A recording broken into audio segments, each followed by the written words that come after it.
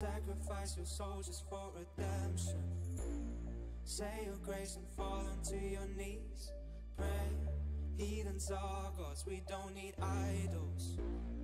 We decide the faith that we believe. You got the eyes of a devil, but the body of a saint. Baby, I'm a sinner when you're pushing up on me. I, I, I got a secret here for you. I guess I must that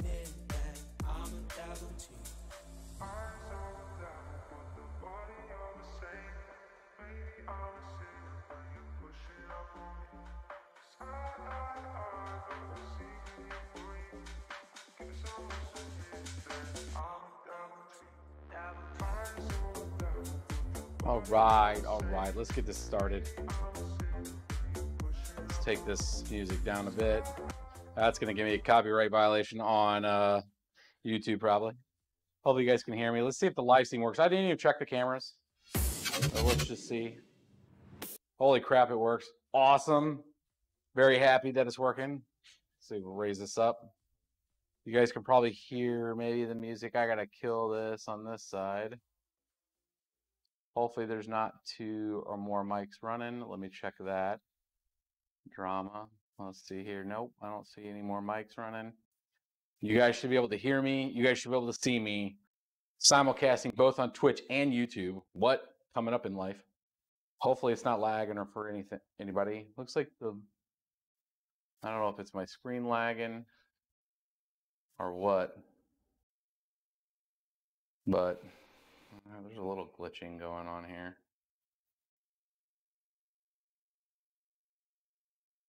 Maybe it's just on my side, but a little glitch.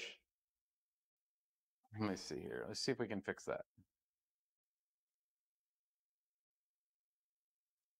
Get rid of this. Get rid of this. You know, I probably should have re- restarted this machine before I went live. It's been a minute. We've got a something here, a super chat or something, cheering a hundred on Twitch like a boss. I'll see if I can keep up with this. Yeah, it looks like 08, 08 Jeff did that.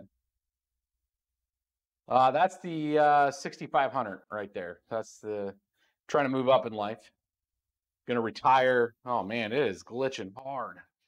Let me see here. Why would you be glitching? Let's see if it's. Let's check one more thing here. Let's go to this screen. That should be nothing. This screen should be that.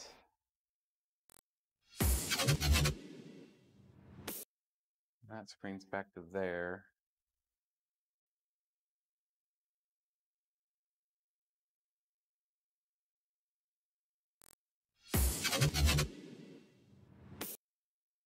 Yeah, that one is definitely the small camera right there.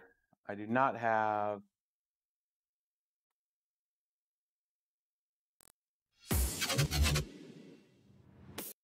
mm, So yeah, I don't know. This is the 4K 60, and this is the one that seems to be having the issue here.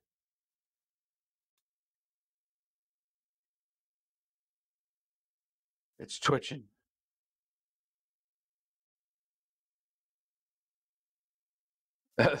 Boss uses the other. Yeah, so I'm using the A100 or 110 is the A100. Um, our AX100 main camera, and I'm going into three 4K 60 HD Pros in the uh, streaming box here, but it looks like it's really struggling. This has got the makings of an exit scam. What what's that? The the the glitching? Max headroom effect. Yep. That's so weird. It's a glitch in the Matrix Bros. So the audio is not messed up though, right? Audio's good. We're good there. I'll check the connection over here just to make sure it's just not something with the it's been sitting here for a minute. Connection seems to be good, not glitchy.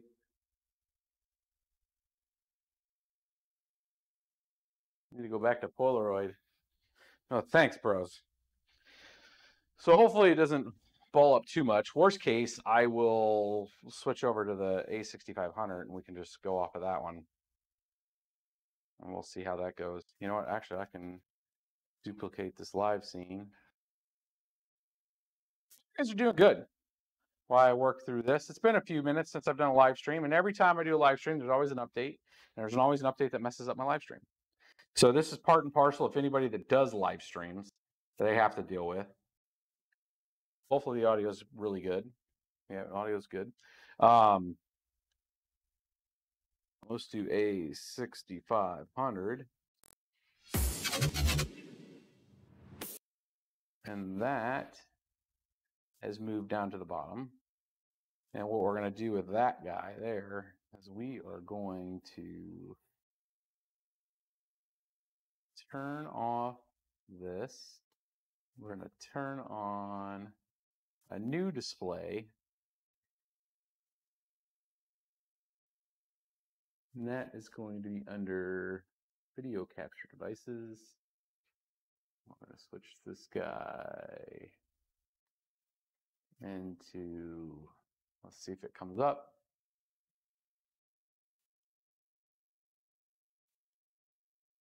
Add source. There we go. We're going to do this one, add source. Okay. So this is the A6500. Let me back this up because we don't really need it on the power right now. Now this camera is going to be a lot clearer even than the other one.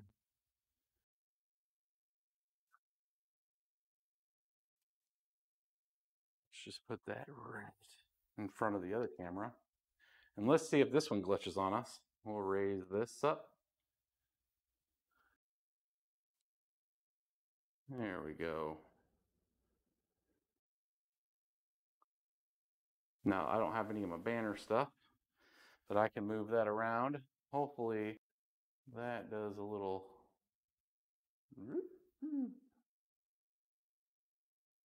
There we go. Let's see how that. I think this is such a continuous autofocus, so that might be a catastrophe, but we'll see. And then let's bring this guy down here. And there we go.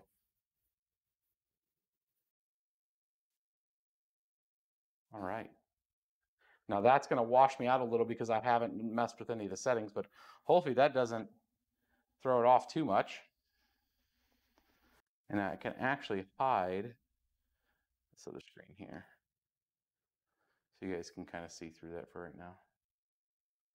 That's actually uh, for whenever we're on the mining rig, uh, you guys will be able to see the screen there. But for right now, I'll leave the shell there.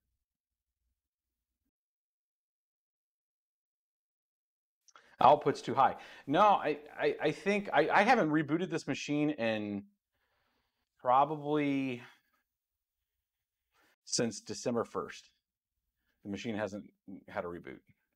And it's actually left Streamlabs up. So I've left Streamlabs up and running and I haven't rebooted the machine and it's just sat there. So it's probably Streamlabs needs to be rebooted, but we are already live. We're going to go. We've already wasted uh, 12 minutes of your guys' time. We've allowed people to come in. We have 15 people sitting on Twitch right now. So hello, Twitch crowd. And we're around 41 on um, YouTube. We got a we got a thumbs down. So thank you for that one, sir. I'm sorry I wasn't prepared for that for you, but I, I always get a, randomly a, a couple thumbs down. I don't know why. All I do is try to help you people. But it is what it is. Your eyes are sparkling. Are my eyes sparkling? They are sparkling. Yeah, I don't know. The glitch. Let's do this. Yeah, it's tr- it's trying to autofocus. That's why, and uh, none of the settings are on the on the filters or anything are there. So, and it, it might be a little bit too glary for, for this. I don't think it's as sharp either. Let's switch back to the other one. And we'll just deal with glitches.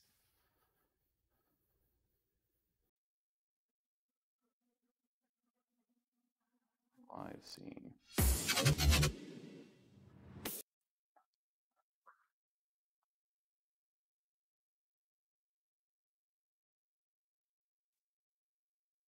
The filters are not as like when you're on here, you gotta you gotta adjust things. Otherwise, it gets a little real flaky.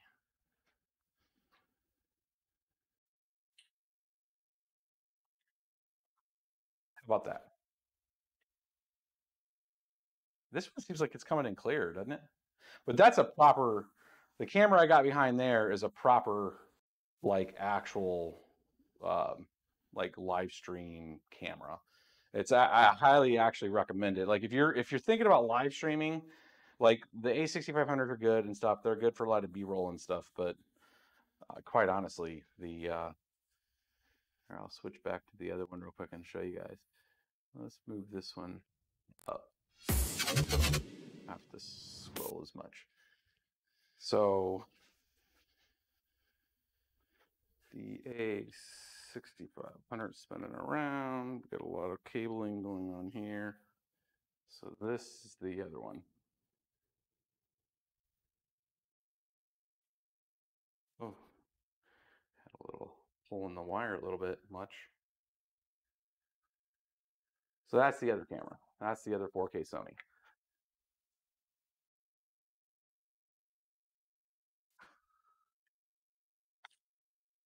Hmm. Let's get that back in place.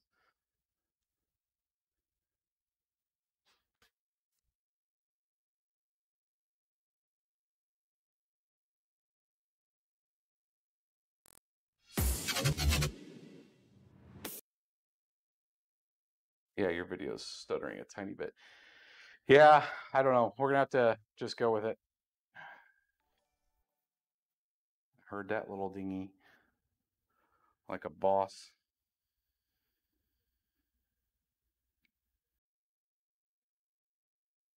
You're gonna get a lot of hate for being a miner. Uh yeah, sometimes you get a little a little bit of hate. But right now everybody's I mean, like even if you're a gamer, you should be doing some mining.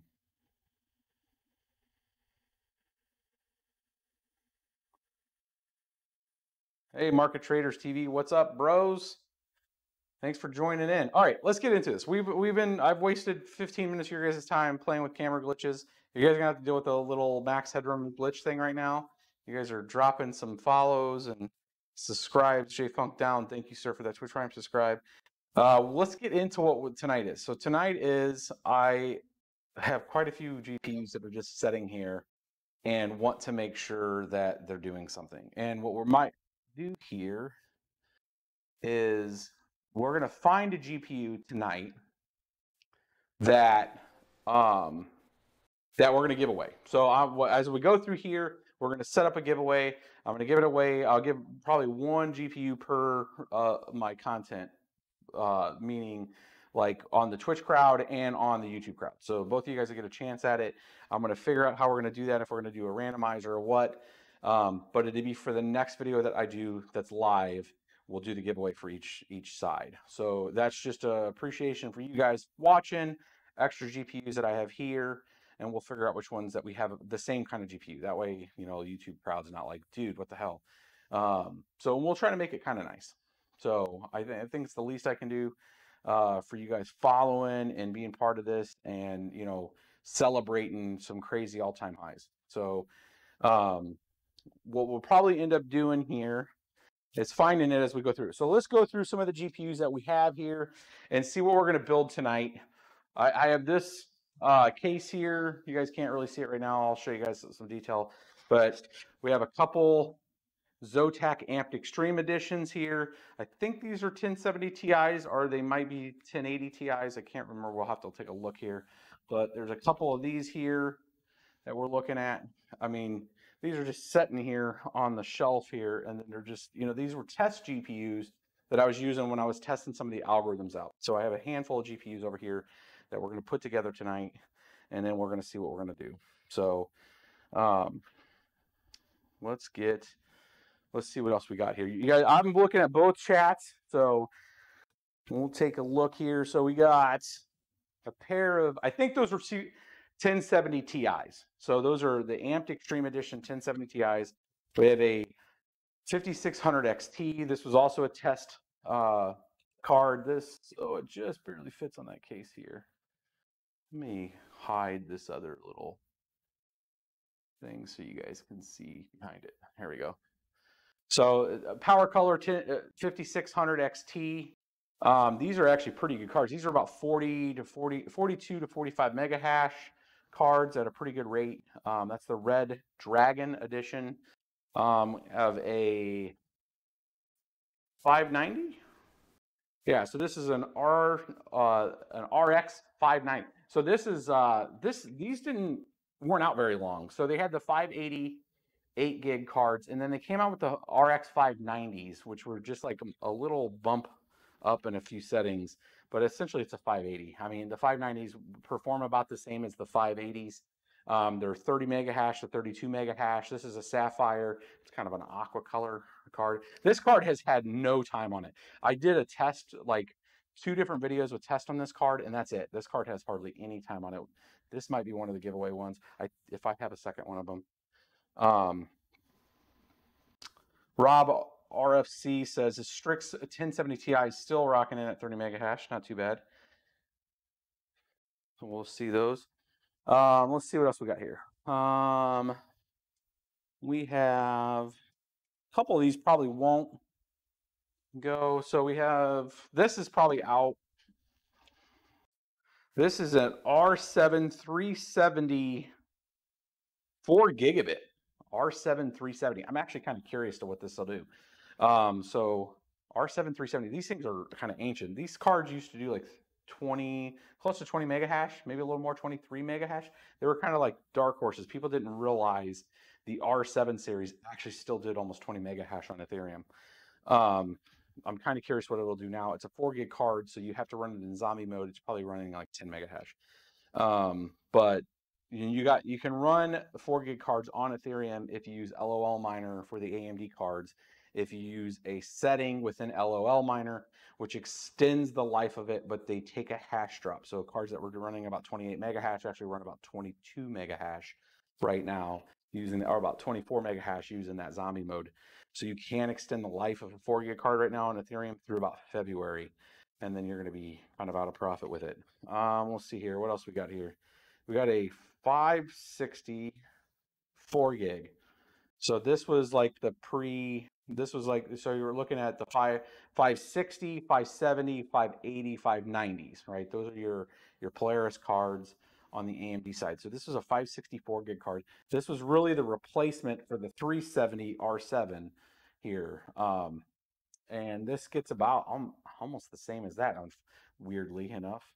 Um, I want to say it was around 20 mega hash now. I it's four gig card, so it's in zombie mode. It's probably about 16 mega hash now. What is this? This is MSI R9 272 gig. These are out. So 270s. These were these were great cards back in the day. 270 is out. Let's grab a couple more. Let's see what we're going to do here. What I'm trying to do right now is see which ones we're going to pick the cards for the giveaway, and then we're going to see what cards I'm going to put in this mining rig tonight.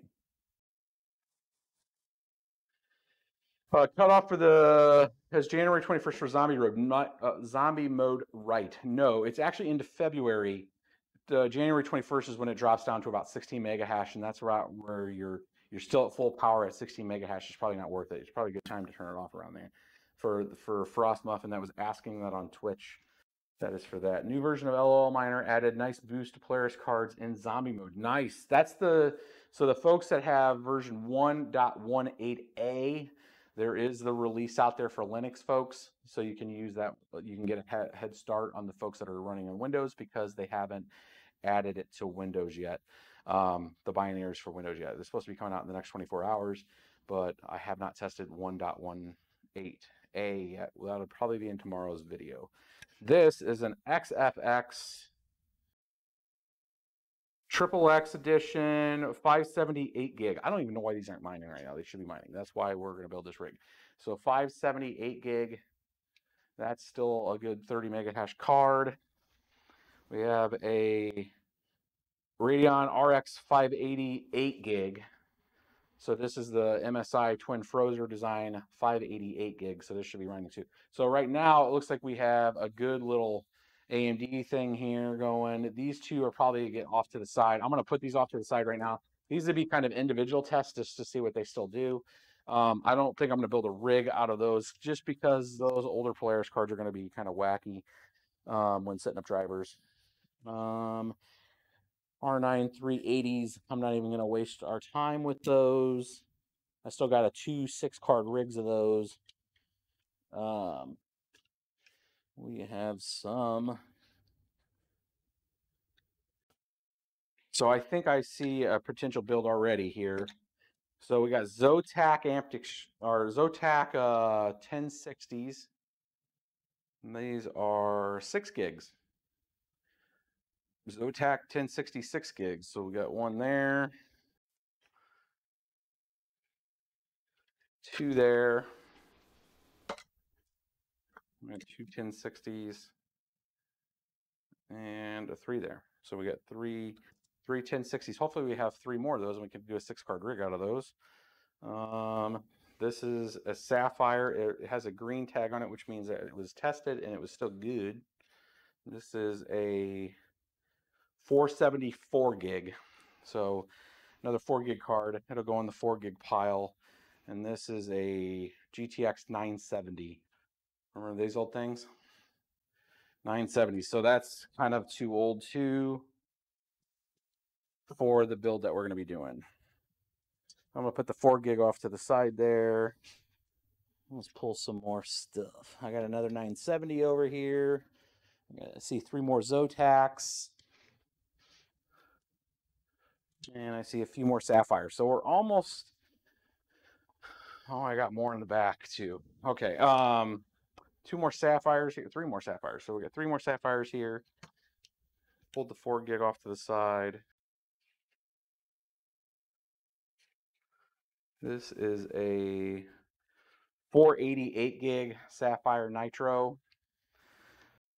So we're let's see here. How many do we have here? Polaris cards. We could build a Polaris build here. Um, one, two, three, four, five, six. We might have actually six cards to build a rig tonight here. Another Sapphire Nitro series. 570 16 gig. So I know some people, some people that follow have probably seen this, um, but we're looking at this is the blockchain card um, from Sapphire.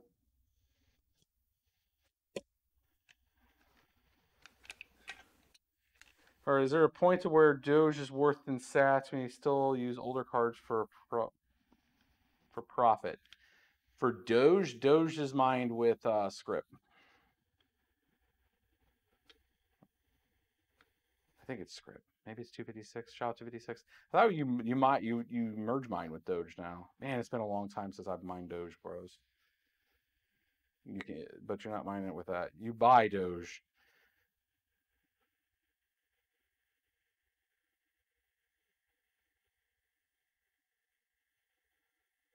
I never played before. Thanks for that, bro. You're a boss. You've been making videos for so long. I remember you back in 2016. I've been making videos since 2013 on this channel, teaching you guys how to mine, learning with you guys on mining, um, and then troubleshooting and stuff. So yes, it's been a fun ride, bro. So this is this is what we've been waiting for. Like we're it's it's gone parabolic. We've been looking forward to this. All right, we're almost done, bros. We're almost done. We're almost done. We'll start building this thing. 478 gig. So 478 gig Sapphire. Rip. Who wants that GPU? Um, we got three more over here. Let's see if I can break them.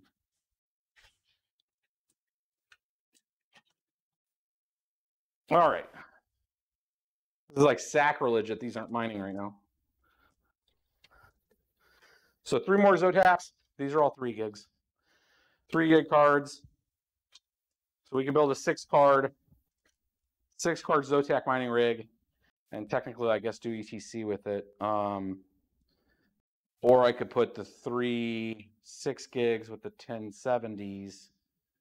That's probably what I'll do. That'd be five cards. Hopefully we can find one more uh because I hate building a five card rig, but and then these three gigs I could probably pair with the Polaris actually and do um, a different mining rig.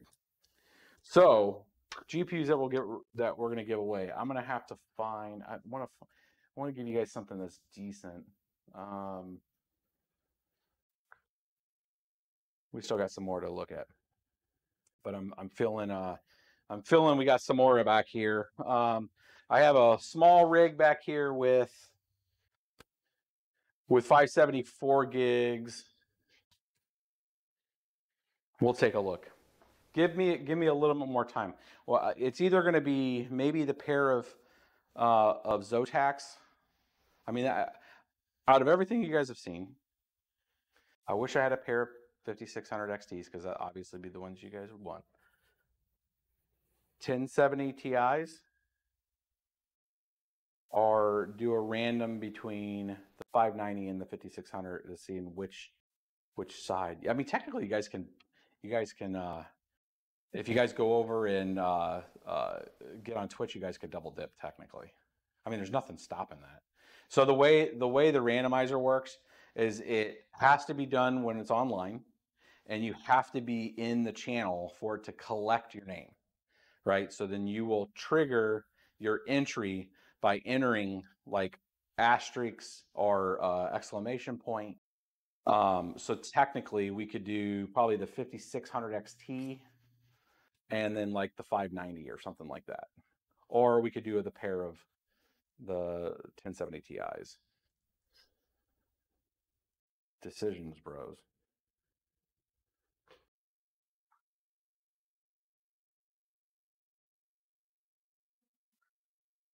Dude, I'd be happy with the four kid card. Chris Fox says 1070 Ti's.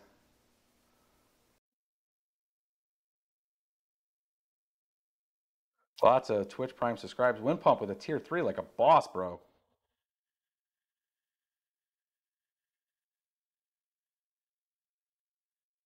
So technically, you YouTube people, I'm simulcasting on on Twitch. Like, if we go and do this, you would you'd be able to enter in both sides. So if I do one, it's going to collect your name on both sides. So it gives you guys two chances.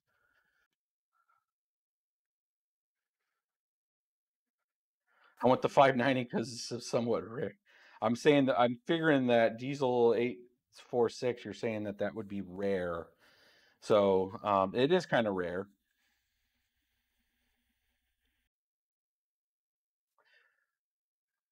So what you guys will do is you guys will you guys will be looking out after Twitter. We'll pick which card it is, and then I'll announce the stream, and I'll make sure that it's kind of uh, I'm Central Standard Time, so it'll be anywhere from eight to like ten o'clock on a, a Central Standard Time in the evening. So you'd want to try to make yourself available then, and we'll we'll target it for like Saturday this week, because Thursday tomorrow I'm busy. Friday uh, maybe I might be able to stream, but definitely Saturday we can plan for it, and it'll it looks like seven 1070 Ti's are the ones that everybody's wanting. These Zotacs. These Amped Extreme. You guys want to see a close up of the Amped Extreme?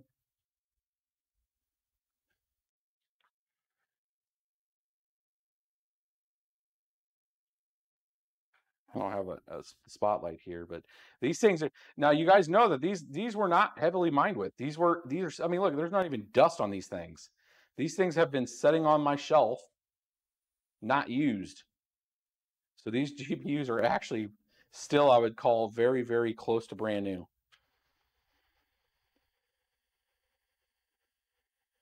So very nice. So it's that, or you know, I haven't looked at the benchmarks, but you guys could tell me the benchmark. I don't know if the, the 5600 XT might actually be a little faster. It definitely mines faster. This card mines faster than this card. This card's about 30 mega hash, 32 mega hash, somewhere around there right now.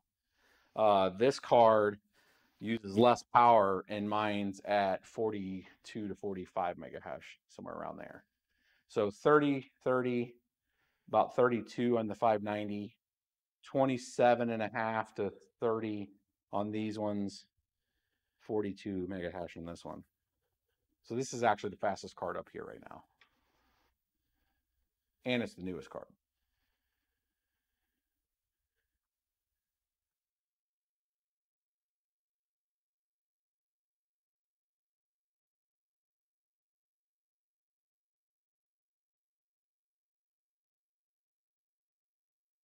Is a 1200 watt power supply good for thr- six 3060 Ti's? Raphael's asking. Yes, 1200 uh, watt power supply is plenty for that.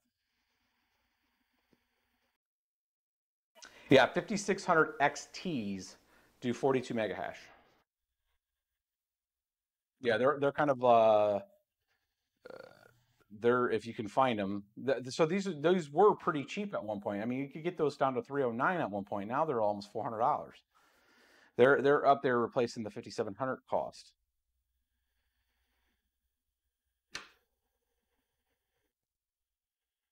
I'll I'll read some comments for a second here. So if you guys got questions, throw those out there, and then we'll take a we'll take a look at here. I'll take the fastest one wind pump says or wind dump says.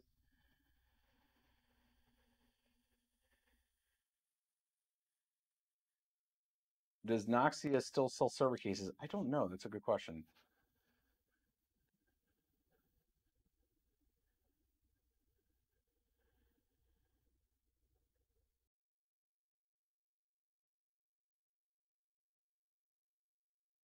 You can drop those below 220 watt. 220 is way over OP. You're thinking of uh you're thinking of 3080s. So RTX 3080s use about 220 to 240 if you don't really dial them down um wattage. So 3060 Ti's don't use that much. Best riser to use for a 3060 Ti. I mean, most of the risers I've been using are the version 7 um, with the six pins. Uh, Mostly um, any of the newer risers. I, I had some issues with the version 9s, the red ones with the like multiple connections on them. I actually had a lot of those go out. The capacitors on those were kind of crap. Um, some of the higher quality risers I've had are um, a SQRL actually put together some nice risers. They were just a little expensive, but you can't get them in bulk. Um, I don't know if you guys have ever seen a SQRL miner uh, riser, but um, I think I got one in here. Let's see here.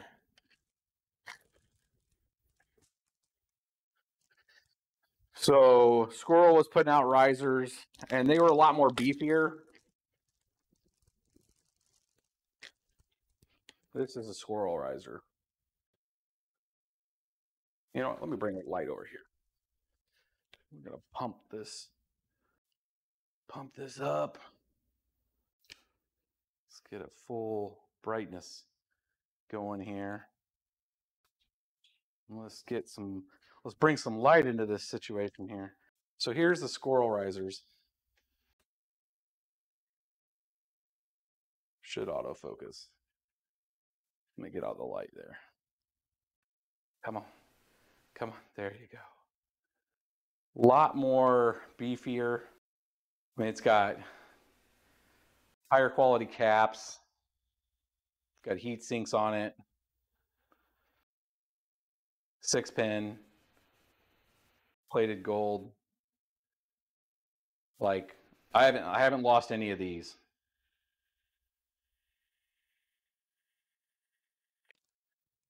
I wish I could get them in bulk because every one of these risers have always worked and I've never lost one. Um, yeah, so it's an ASIC company, FPGAs, ASICs, um, mostly FPGAs, but yeah, I still got a handful of those. But those and then the version sevens, I'll show you those.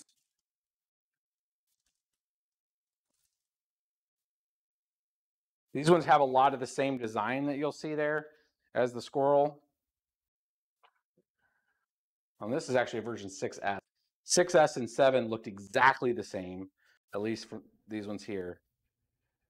So you can see it's almost the same capacitor design as the SQRL one. It's just the SQRL one on the junction here had a heat sink and it's still got the same trace layout right here. But these ones you can see up here, 6S. Those ones were uh, still really good. I haven't lost too many of these at all. um, 6S and 7 that had the same look and design. I have them on uh, YouTube. Actually, I think the, the, the 7S ones are the ones that are linked in the YouTube video. I don't know if it's in the YouTube video here. I might have to update. But how do those fuses work on the PCIe risers there? Uh, they, if they take too big of a load, they'll pop and then you're tossing them. There's no, there's no reason to even try to fix those traces to restart the restart that. I would not do that. Uh, risers are so cheap, you can I would toss them. Um, if risers were 30, 40 bucks a piece, then yeah, you could you could recover them, you could recap them. Um, but most of the risers I've lost um, are benign, where you won't you won't it- it'll just go out and you won't see any kind of surface issue. Um, it- you know, the just cap's bad, um, but it doesn't pop the cap. Uh, I think on stream, one of the streams that we had a while back, we actually lost a riser live where it literally blew the top of the cap off the riser. And a lot of that testing that I do, if you guys haven't followed in a while, and we haven't done a test in a while, and I'll do it with this build here, um, is hook up the BBT multimeter, and you guys will see the power draw on a GPU. So one of the key factors of dropping your voltage on your GPUs and why it's such a key requirement, um, especially if you're using typical power supplies, is on you know the older GTX series and the Polaris series. These really topped out at about 60 watts, 62 watts, somewhere around there was the max pull that we would see from from this uh, PCIe if you didn't touch any of the settings. The newer cards, the 5600s, the 5700s, the 6800s, uh, 6900 XT, which we have not tested yet. I need to test it with the multimeter. Pull up to 75 to 80 watts. I've the fat, the most I've seen pull out of this is around 70, 74, 75 watts. We did it on stream, which is another 14 watts. And what the problem with that is, is if you're using a, a standard SATA connector, which a lot of people did, we showed people for years to use regular power supplies before there were breakout boards and server power supplies with six pin breakouts that those are really max rated. I wouldn't put them much more than 100 for a long load. So, which means that's two GPUs per SATA strand. Back in the day, as long as you were dropping your voltages, you were probably pulling around 80 watts.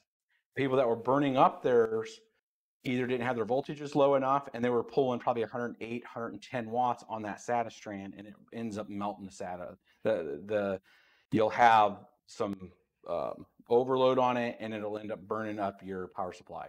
Um, you'll probably lose a strand and then you might even have a burnout which is a really bad issue. Um, on the newer cards especially i'm all only single if, if you're using older power supplies like we had a lot of extra older power supplies. We had a ton of 1200 P2s, a whole bunch of 1000 watt P2s that were purchased for the build out of the farm. We had a lot of extra, so I wasn't going to go out and buy a whole bunch of build out, you know, uh, server power supplies and breakout boards when we already had, you know, the power available with the different P2s and uh, the EVGA P2s to 1000 watt and 1200 watts. So we just changed our way of, on the 5700 builds of using one SATA per card. Max pull, even if it loses its settings, going to be 70 watts. It's still within that spec, but it's one card per SATA. And if you do the math on a lot of the builds, you're going to run out of SATAs real quick. There's usually four SATAs, maybe five with some of those things. That's only a five card rig, right? You're not going to be able to get a thousand watt power supply now on one of those rigs. You're going to have to use two of them, and that's just a waste of uh, setup. So on the newer stuff, breakout boards with uh, server power supplies, you'll find a lot of those out there. They're platinum power supplies. They're a lot cheaper. Um, and luckily, there was a large supply of breakout boards and that, you know, that you could get. Um, lately, I've seen the prices start to come up like everything else. So, you know, um, I don't think you're going to be finding power supplies a lot cheaper right now. Power supplies are very expensive still right now. I mean, I think I, th- I saw 750 watt power supplies for going for like 269. Like, what are you talking about? These were like $110 power supplies. Going crazy now these days. Um, I don't have any affiliate links for like SQRL risers, guys. Thanks for asking. Um, uh, it was just, you know, we got them when we got some of the SQRL equipment um, that is still sitting on a shelf because it's just all I could mine is like one thing that wasn't really worth anything. it ended up being a bad loss. My Ozark land, five dollar uh, super chat, sir. Thank you. What's the cheapest and smallest motherboard to use for a three card small rig? Risers not on the motherboard. Cards on cards riser cards on risers, not on Movo. Um, this actually, this is hilarious that you just asked this. Um, I have one of the motherboards I was going to use for this build actually is a three card um, board because I know I had at least three cards. Here we go. Mm, So I was picking these up pretty cheap uh, for a couple a couple local friends that wanted to do a small rig. One of them's in an, uh, an apartment, and here you go. So this board here, I've had a handful of these where I built small little three card rigs, and I've also built six card rigs out of these. This is actually DDR3, and this is a uh, this is like a older 1115 uh, an 1150 um, chipset. So you can find some cheap processors. I think the processor on this thing was like 10 bucks on eBay. You can find DDR3 cheap. This board three uh, works with three GPUs, no problem. It's a small build. You can do a little micro build for this. It's good for like apartments and stuff. But there, there's there's the board. So the GA H1 eh, or H81M dash H. You can get these boards all the way down to 29 bucks. And it's like this whole this whole board setup here was like less than hundred dollars just for the, for the memory, processor, and board. That keeps it really cheap for you, and it's a three card, and it's got uh, it does have a, a HDMI on it too, so it does have the onboard that it gets from the chip, and you can buy a cheap Celeron chip to go with it, and you got it to go good.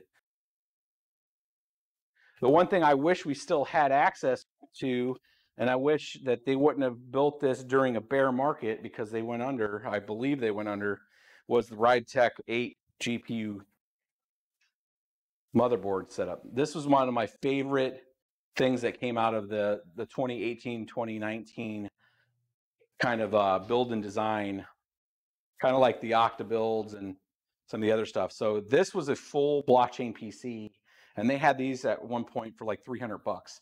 And this supports up to eight GPUs. It gets its power from a single six pin. It's got an AMD APU GPU on it, so the APU drives the the um, HDMI. It's got a couple uh, USBs. It's got what three USBs. It's got its power and its uh, or its uh, networking, and it comes with laptop style memory. So this actually got 16 gigs or 16 gigs of RAM on it, and that's a uh, 256 solid state, and it's all one. This whole thing's a PC, and it's set up like a GPU, so you can actually put it in a case. This is one of the, my favorite designs, and I haven't found any more of these. Like, I really wish Rebtech would just open source this and then sell this as a separate unit. Like this, this is a marvel of technology. I love this thing because how small and dense it is. You know, having having everything. I mean, this is essentially a computer that is it's a AMD four core um, eight 8500P, I think is what it is. Yeah. So who are uh, like I've reached I've tried to reach out to Rebtech. I've said open source this, let somebody else build this. I would love to see like a new like low power Ryzen. The fact that it runs this entire thing runs off that single six pin, this entire machine. And then you can have all of your GPUs plugged in, your risers, you don't need the the PCIe lanes uh, or the PCIe connectors. You can go straight into USB, straight into the 16 pin, and then you can run an eight card rig off this thing. And this thing's like running Windows. So I, I'm really hoping there's a power button right there that they'll they'll come back or somebody will buy the spec on this because I think this is this is a very interesting build setup and has a lot of potential, especially in today, like if you're building GPU rigs. And then this was their GPU. So this was an RX 480 8 gig, and there is no PCIe. It is the world's first USB only GPU. So this has no PCIe. It's got a It's just only got USB. So this plugs directly into this, and you could have them all stacked up together like that. And these these run really cool. It's got eight gigs. That's twin fan design. You know, it's not plasticky. It's all aluminum. Like this was a great design. I this just came out in like late 2018, the beginning of 2019 in the, in the bear market, and they just like they built it and then it just they went away. But yeah, this would be really cool to come back. I would love to see like 5700s like that. You know, this is kind of like a just a unique piece. Um a piece in time, but a lot of people have reached out asking for it. I'm like, nope, that's that's going to stay in the that's going to stay in the uh the uh the background here for me. All right. So I think we'll end up settling on those two. I think there is a creature in here. What is that? A bug? There's a bug flying around in here. Um so maybe the this little micro rig here will probably end up having this mix of Polaris cards. And I think that's what we're going to go with. So we'll pull off the two GTXs here and keep those for the giveaway because I think that's what you guys wanted, right? You guys wanted the 1070s? Or do we want to do one 1070 and the 5600 XT? What we'll do is you guys comment on this video below when it when it posts up on what you guys think, and we'll we'll take the Twitter and make sure that you guys are telling me which ones, and then we'll do that. We're gonna do these ones. I gotta put a motherboard on this. That's why I'm pulling some of the GPUs. So we'll do because I think we have six of these, right? One, two, three, four, five. No, we have five. I gotta find one more GPU. We'll put these in there. Sapphire. Look at this.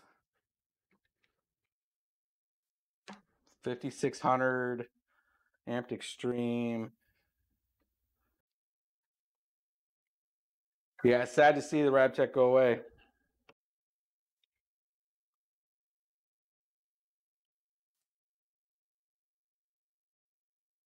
If they drop, I'll cry. No, they're safe, and I'm trying not to drop them. I was actually looking for the blockchain card. Is that this one? No. This one? Yeah, this is the blockchain card. All right, so we'll put these over here. I got to put the motherboard in that in that case. Um, I'm gonna put these GPUs back over here now that we've went through them. And the stack of Zotacs, three gigs. Oh, man, I, I I remember when I picked these up, they were uh, they had the three and three, and I was like, ah, couldn't give me the three gigs. Why not?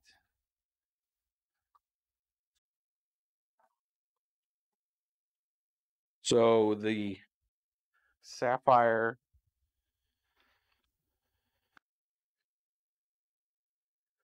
We're just about 250 rigs right now. It's 257 card rigs. We were at, we used to have 330.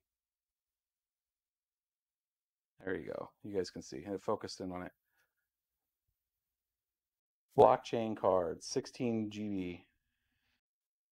So 570, 16 gig. They do exist.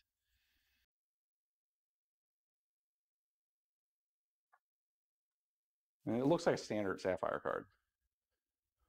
1600 T2s, love them. Best, best, uh, best power supply on the planet.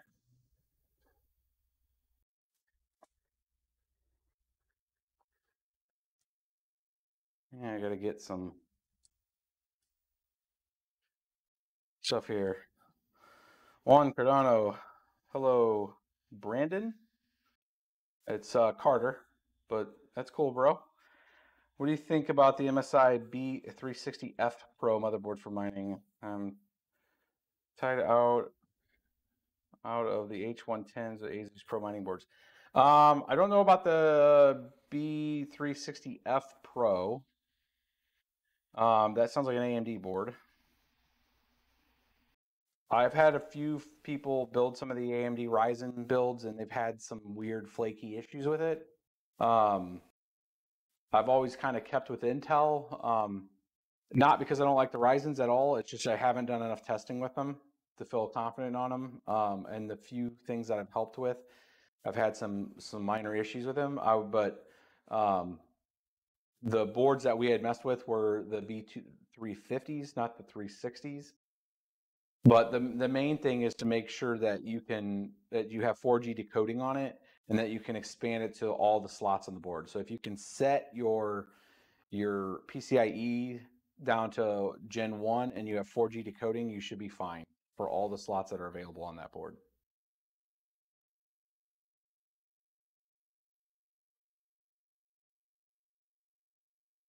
The BBT Museum.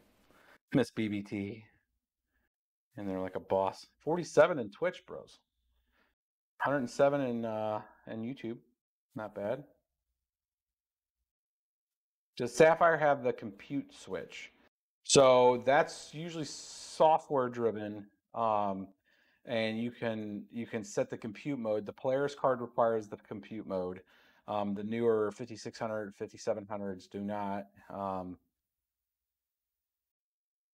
explain how the H110 is out of date for mining. Uh, it's not out of date. You can still use the H110 fine. We have tons of H110s. I had a lot of problems with the BioStars, and I'm I'm very happy to see that you haven't had any problems with uh, the BioStar. Open your eyes. That's uh, I I've had like two or three of those uh, TV uh, boards, and they just they died on me. Distributor said three, 3060 Ti's are coming in next week. I know that they also have like what a 3060 Ultra, right? That's the new card that's supposed to be coming out at the 338 price point, or the 428, 438, 438, 439, somewhere around there. Taxes on mining? Yes, there are taxes on mining. When you sell, uh, you are creating a taxable event. And you have to sell to pay your power if you're doing it at scale for sure. There's a lot of people that spec mine and just just get the currency and don't do anything with it. So they're mining, they're paying their expenses. Hopefully you're keeping track of all your expenses.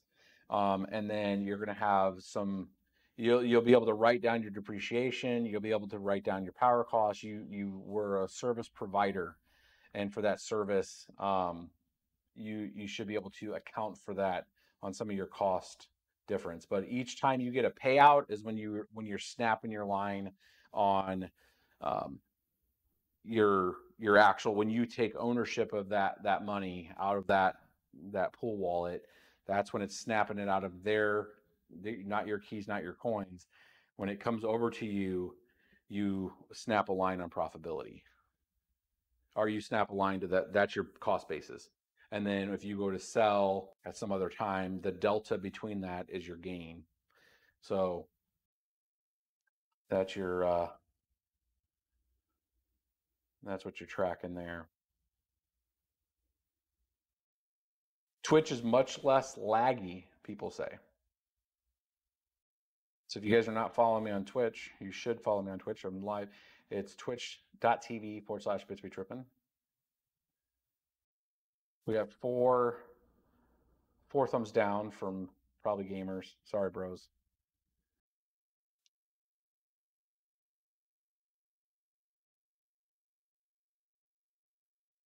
The LGA 1151 is actually overkill for mining. I mean, it's oh. like most things are overkill for mining, like by far. When when you're not CPU mining, you could literally, if you could get a Raspberry Pi to, well, I'd probably take a little more than a Raspberry Pi, but maybe the newer ones. Um, you could do an like that that APU that I was just showing you from Rebtech was like a a four core AMD processor APU that was like 1.5 gigahertz or something stupid. Like it, and it ran fine. Run eight card rig, no problem in Windows. We do a guide on how powered riser cables and PSU requirements for that. There is a guide actually. One of my latest videos actually has when if you look up the 14 card XFX 5700 build, I do a pretty detailed breakdown on riser power to power supply power configuration. And you can you can take that video, it's like eight, 10 minutes, and you can get to that point and you can just chomp it up based on um like if you have a six card rig you don't need to have three psus like we had there where we had to really be meticulous with the power delivery there. You can take that and just slice that up for your for like a six card rig. Bunch of haters.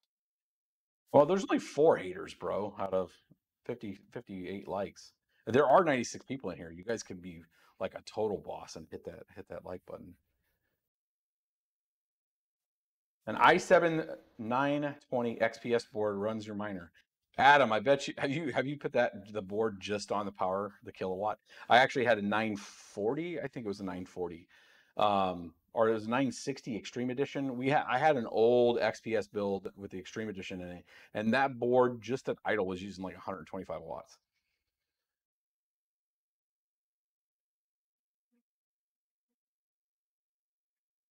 Yeah, a lot of my stuff, guys, is just through iteration.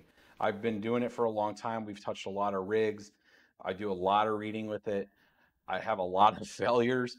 Um, you guys that watch me on live streams see the fails in live sometimes. Like mining is uh, is an event sometimes. So the best thing I could I've always done is just share that information and hopefully you get some feedback down in the comments sometimes to say, hey, well, this works for me, and that's a contribution to everybody that's why mining's always been a pretty uh, a pretty cool sport for for people on collaboration and stuff like and that's why like I always I'm always critical of coins and stuff that try to take go away from proof of work mining and and move to like proof of stake or move to any of the other things because you lose that community. There's a huge community that are mining. There's a huge like grassroots community of people that mine you know there are large farms out there but there are a lot of people that are onesie twosie card. They scale up to maybe four cards. They have maybe two pcs and at night they mine.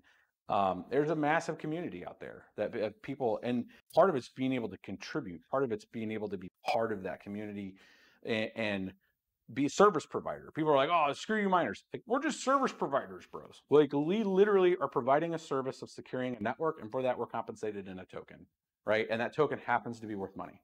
And it happens to be going up exponentially because of the network effect that's coming down with cryptocurrency. So you're it, never feel bad about being a miner. You are a service provider. You can be a gamer and a miner. Surprise.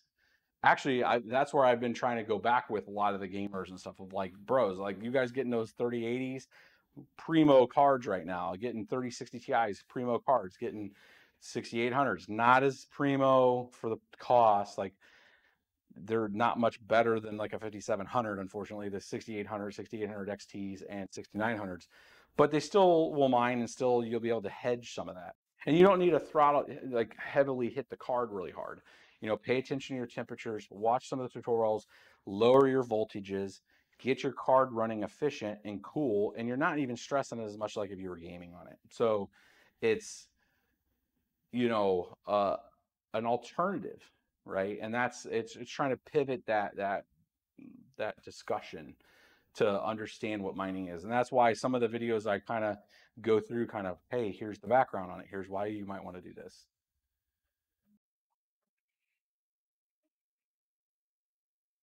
Looking at your guys' comments i don't want to miss anything. You guys have been awesome tonight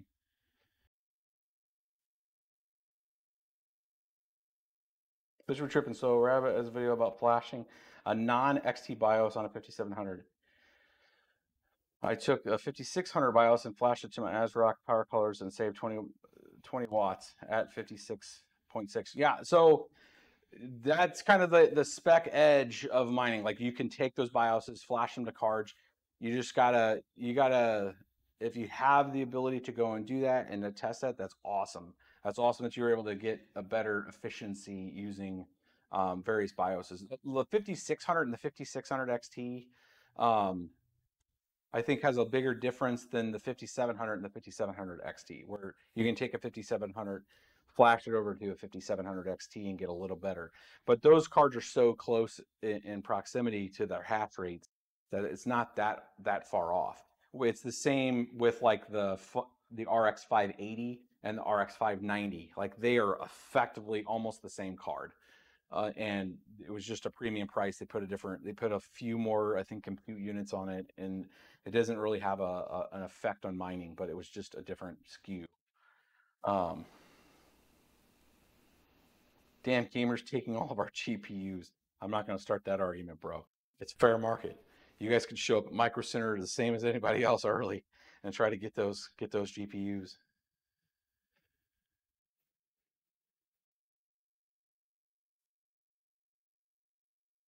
This uh, now my my my thing here was live building a mining rig, and all I've done is talk to you guys. But this is what happens sometimes. We got work to do. We do got some work to do. Let's find a let's find a motherboard and get a motherboard in this thing. Let's see here. I think I got one back here. I got some broken motherboards. Oh, I got more GPUs back here, bros back here. 750s. Ugh. 750 Ti. Nope. That's going to be a nope from me, boss. All right, let's see here. So I did have a rig pull earlier. This is a Z270 Prime. It looks like it's all set up here. I don't know why this is actually. out. I think this is the board that was in this machine. I had taken this out because I had used this this machine for um, the testing I was doing when I was doing the multi GPU test initially with the 6900s. BBT Jason's and I's cards. Yeah. A uh, screw that's kind of stuck there. All right, let's see what we got over here. I think I got, I know where the little screws are at. I'm gonna have to find some, but that's definitely the board we'll put in there. I have to find a screwdriver for that. Saw a super chat come in. I'll make sure I take care of that.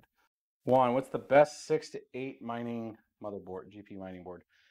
Uh, I've always had really good success with the Z270 series, the primes. Um, so it could be the Z270 um, Prime, the AR, the 370 have been very well.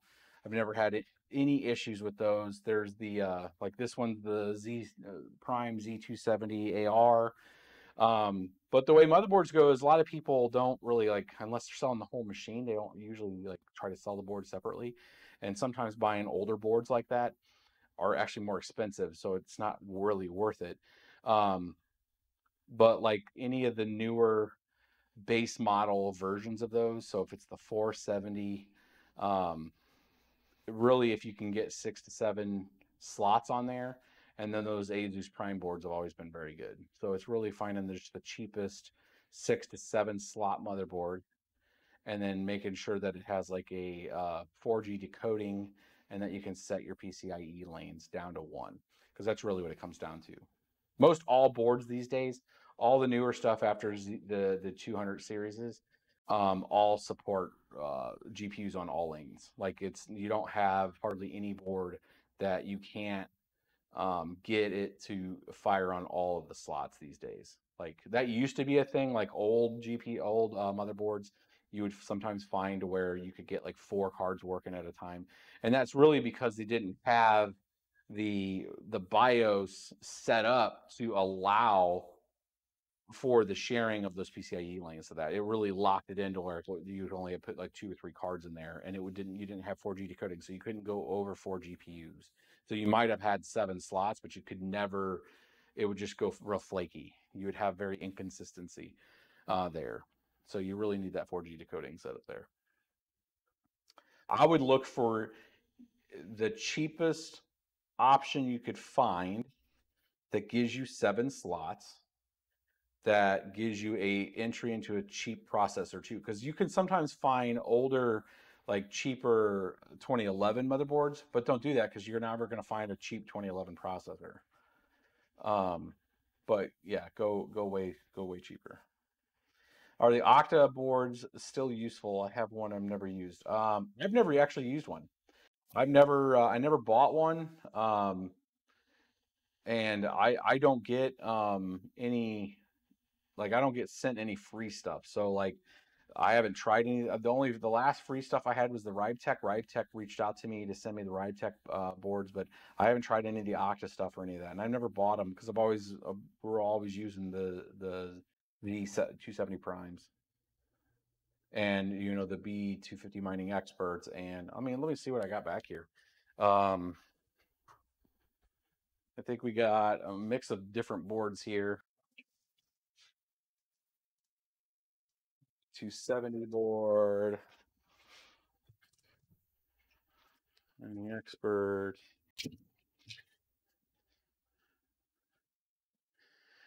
Now, like this, I'll give you an example of this one. Uh, like you can, like the old 170s, this board would give me a little flakiness. So this is a Asus H170 Pro, and it has what one, two, three, four, five, six slots.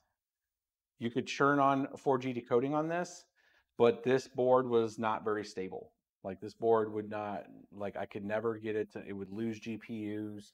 Um it just I don't know what it was with this particular board, but the the 170 edition not so well. Now there were 170s that were good, but this um I'll get a little closer. So like this is an example of one that wasn't very good that I thought would be cheap because this board was actually pretty cheap at the time. I think I got this board for like 80 bucks, uh, 70 bucks, something like that. And um, I thought I'll, I'll try a cheaper alternative because this was the last time there was a run up. Obviously, you guys know what a B250 looks like. Rip. Probably stepping on the keyboard there. Um, you know, B250 mining expert still good. We use B250 mining experts at the farm, uh, and they do seven cards. We don't we don't push it past seven, eight on most of them, and that's mainly due to the power configuration we run. Uh, and then if you can find these, like I found a case of these um, that we had not used, and they still really work really well. Your ASRock H81 Pro BTCs, these things were still still old gems. But I did go through quite a few of these the problem with the the B2 the uh, the H110 uh, Pro BTCs was they gave you some supplemental uh, Molex power, but you would still burn up on these boards if you pushed them too hard. Um, you would still burn up right over here. They have like a, a trace between your Molex here. We would lose sometimes this cap over here. These caps here would pop, and I lost quite a few of those with the uh, the R9 390 series used to burn these boards up, but the R9 390s um, were using close to 70 watts of power on the on the actual riser, and it would burn up that board. Miko, what happened exactly back in the beginning of 2018 and cryptocurrency crash? What might have caused another crash and prevent another from your point of view? That's a great question, and that and I will come back to answer that. Um, the back in 2018, All right, I just want to make sure I didn't drop any of that. The the plot the the rise, the quick rise in 2017 through December when we went from like really cheap prices, like two, three thousand dollar uh, Bitcoin to 20, close to 20,000, $1,500 ETH. That point in time, a lot of the financial infrastructure wasn't in place. There wasn't the OCC, the Office of the Comptroller, had not put out guidance. There were questions if an EFT would be approved or not. Bakkt wasn't here. You didn't have a lot of futures trading stuff yet. You had a lot of the financial infrastructure and the on ramps to bring in the main street, and a lot of the folks were talked about, but they weren't there. I went to the, um, uh, actually went to Com or not Comdex. Jesus, that aged me. Um, CES and went to the the digital the digital forums, the money digital forums there, and there was a lot of talk about the on ramps and the liquidity centers and the exchanges and how DEXs would work, and the talk of DeFi, DeFi, which was really just they were talking it as decentralized finance, disruptive finance, was the naming then was all theory. It wasn't really there was onboarding, there was development going on, but a lot of it wasn't there yet. So you had this massive run up, and you had a couple other factors coming in. You had Mount Gox still liquidating some of the recovered funds, paying back people. You had huge deploy, you know, dumps on the market when it came to that. Um, and you had that first kind of big run up to where a lot of the older holders came out of it. A lot of a lot of crypto hit the exchanges. Um, Binance was just started around that time. They had a lot of um, you know signups. I remember around that time. Everybody locked the exchanges, if you remember around that time. So if you look at what was going on from an ecosystem standpoint, it all came kind of to a screeching halt. Then you had a lot of tax questions. You had a lot of other things that were coming up. There wasn't a lot of clarity, financial clarity, and you had a big pullback and you had a lot of people saying, "Well, are we actually going to do this or not?" And then over that last three years, there's been a lot of development. There's been le- legitimate on ramps, onboarding, Robinhood, a lot of different companies accepting, you know, your fiat for their holdings that they've been acquiring cheap Bitcoin and selling back to you, right? So they're they're eh, actual exchanges and facility centers. Now we have a, a situation where coming out of October coming out of November. We have a lot of actual legislation movement. Like I said, the Office of the Comptroller, we have MSBs, money services brokers, being able to be set up at local regional banks. You have banks being able to charter to handle cryptocurrencies. You have a lot of now framework being placed, legitimate framework that companies and businesses can partake in it. So now you have this massive uh, I would say horizontal growth versus a very high vertical growth of just a small sector. You have a horizontal growth being able to come into it, um, and it's really legitimizing it. So, will it pull back? Who knows, right? I'm, I think like everybody, we hope that it pulls back. Um, but you know, to to get into allow people that now have been waiting on the side, like, okay, okay, I believe, I really believe, because you know, there's the FOMO, it's going up exponential. People are freaking out you have the fear of missing out. People are looking for like, okay, it, it resets, right? It goes back to 60, 30%. You know, what what's what's it gonna do? And you know, those might be the same people that go, oh, wait a minute, it's pulled back too much. I don't know. Maybe maybe this isn't a good thing, right? And you're gonna have that same kind of cycle. Um, maybe if it pulls back, but it's got a lot of inertia.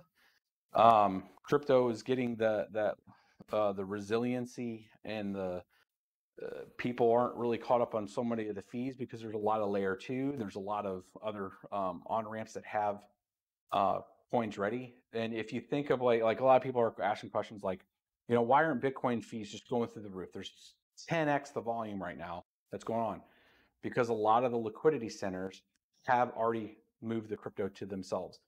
You sign up for one of those liquidity centers. When I'm saying that, that's like Poloniex, that's like Bittrex, that's like um, uh, a lot of the ex- different exchanges, Binance USA, Coinbase, they have hot wallets, they have cold storage. You sign up, you give them fiat, they make a database entry with your name on it, right?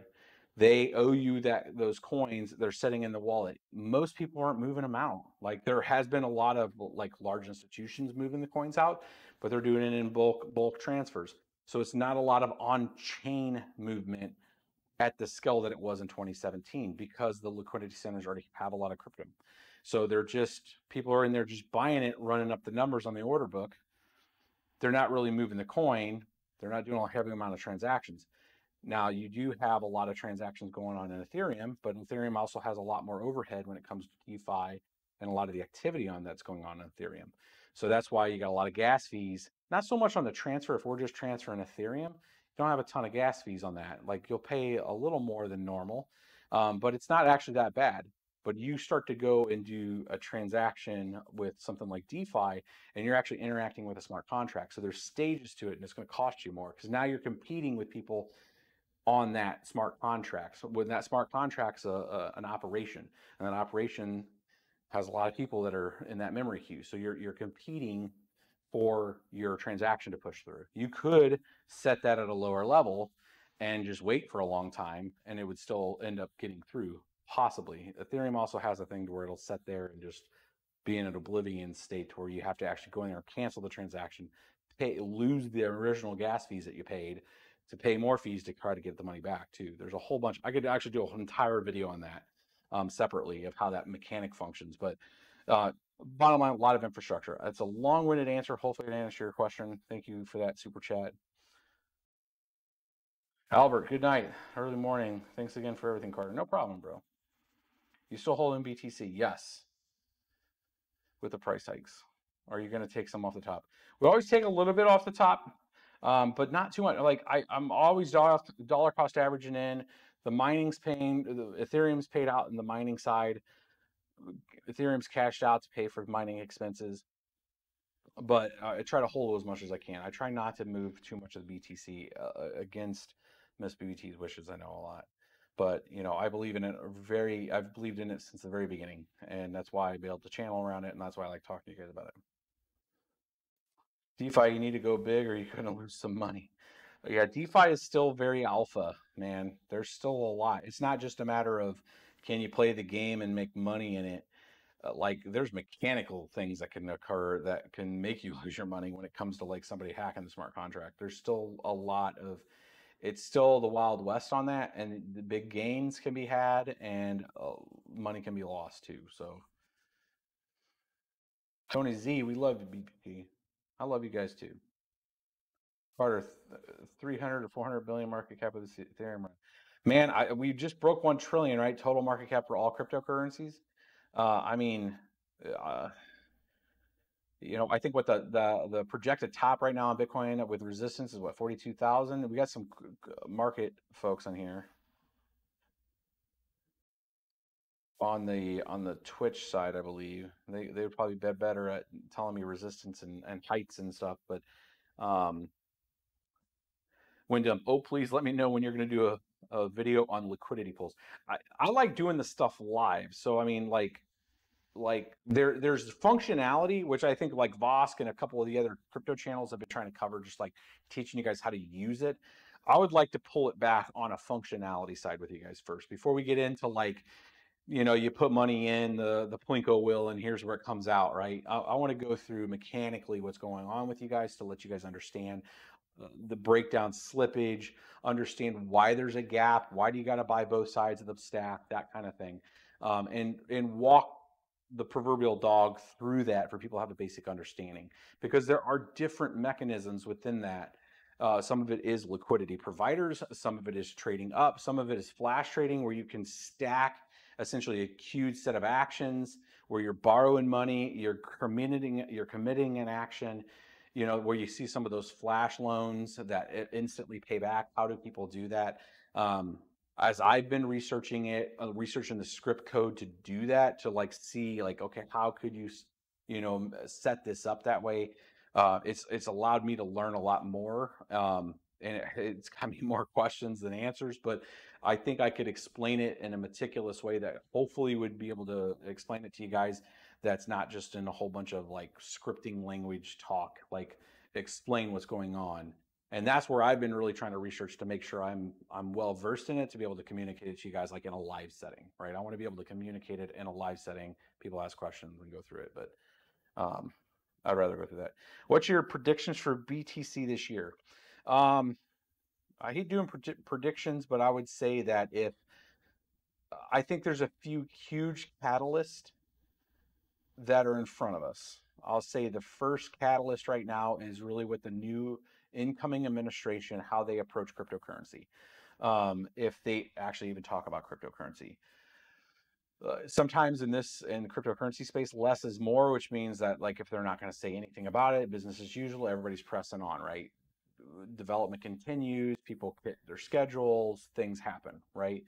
If they and I think if that's the case, I think I think everything there's nothing really impending and and pushing back on crypto unless the SEC comes out and starts really hitting uh, a little more than just what they've done with XRP and then some basic statements, uh, which they haven't actually done for privacy coins yet, but like some of the reactive stuff that's going on with like privacy coins. Like if if some kind of statement comes out, some kind of a notional legislation, something like that could cool the jets on things. If that doesn't happen, I think it stays at a good trajectory. I think people are going to get more stimulus. People are, are then going to buy more Bitcoin. It's going to drive the price up. I think if if they come out strong against it, that would be obviously you would have that kind of sell the news type of event. Um, just because I think some people would panic. Um, some of the institutional people that just came in might go, "Oh, I'm going to take some profit and bounce." Um, you're going to have some short. You always have, you know, tells and you know heads on, you know, the head, the first person that's going for it. Some of the tells that kind of trail back behind, and then you're going to have your long-term holders that are not going to move on it, right? And you might have like a 30% slippage there, just from the news side of like if it, they come out aggressive on it. Um, I think the critical mass is here. I think there's so much infrastructure and legislation now in place with like the OCC and some of the the the MSB information and the where banks and stuff can be part of it that there's no kind of taking that take putting that that back into Pandora's box. I think it's out to a point that if there was any aggressive legislation that came out, they were like, "Hey, oh, we already got these other gov civ areas that have already put out legislation on it. We got blessings on all the states to be able to run up and become MSBs and become liquidity providers also to be able to hold uh, coins themselves become uh, you know registered traders and that. I think that infrastructure is in place. I don't think you put that back in the box. So i don't see any huge legislation coming out saying nope we're stopping it right? So the news would pull it back if that was the case some but it wouldn't kill it if they don't talk at all it's going to stay pretty steady i think there's nothing really pulling it back and then you have the the inverse of that which is what I'm really looking forward to, is that you have recently seized coins from back in the Silk Road time, 98,000 Bitcoin, setting with the government. If they were to come out and say, we're not going to auction these off, we're going to put these as part of the treasury because they see where this is going and it makes more sense to hodl themselves as part of a national treasury, it will kick off an event uh, that will will be cascadingly huge because now that would be an indoctrination eh, you know at a, a, treasury level that they would say you know what? It's not worth it to us. We've had 400000 bitcoin we got rid of at like $2000 and $5000 why and it, we've lost 5x on that we should we should hold on to this and what that would trigger it, part of what would trigger them to do that is that there's already countries looking at including it with their their reserve, right? So when you have some of these third, I don't call them third world countries, but you have other countries out there already looking at doing this, the U.S. leader, in their mind or not, makes a call like that. The the not the the the answer that that puts forth for everybody is okay if this gets part of the treasury then that's 98,000 coins that won't be necessarily reintroduced um, so it's not going to be a big sell thing. I'm not worried about the 98,000. Even if they did get sold, they're going to get sold to a large institutional investor that's going to go hold those things. They're not looking to buy those at a cheap price and then try to sell them, right? Because they know that they're probably never going to be able to get that many bitcoins in one big block again, right? So, and then the, the bidding on that also, I think, would have like if they did, you know, so if the government held it, it'd be one thing. If the government was to auction it, the auction bidding on that is going to be like a futures price, right? They're going to come at it and they're going to come at it strong. A lot of institutional investors can't get that much many bitcoins in those blocks, so there could be a huge run up just for the bidding there that's going to drive the rest of the prices up. Um, so I think there's a lot of future positive more than negative moving forward with it. And again, it, it all comes back down to the current, the new uh, incoming administration. I think that would have some play on that. Um, that's a long, another long-winded talk about it.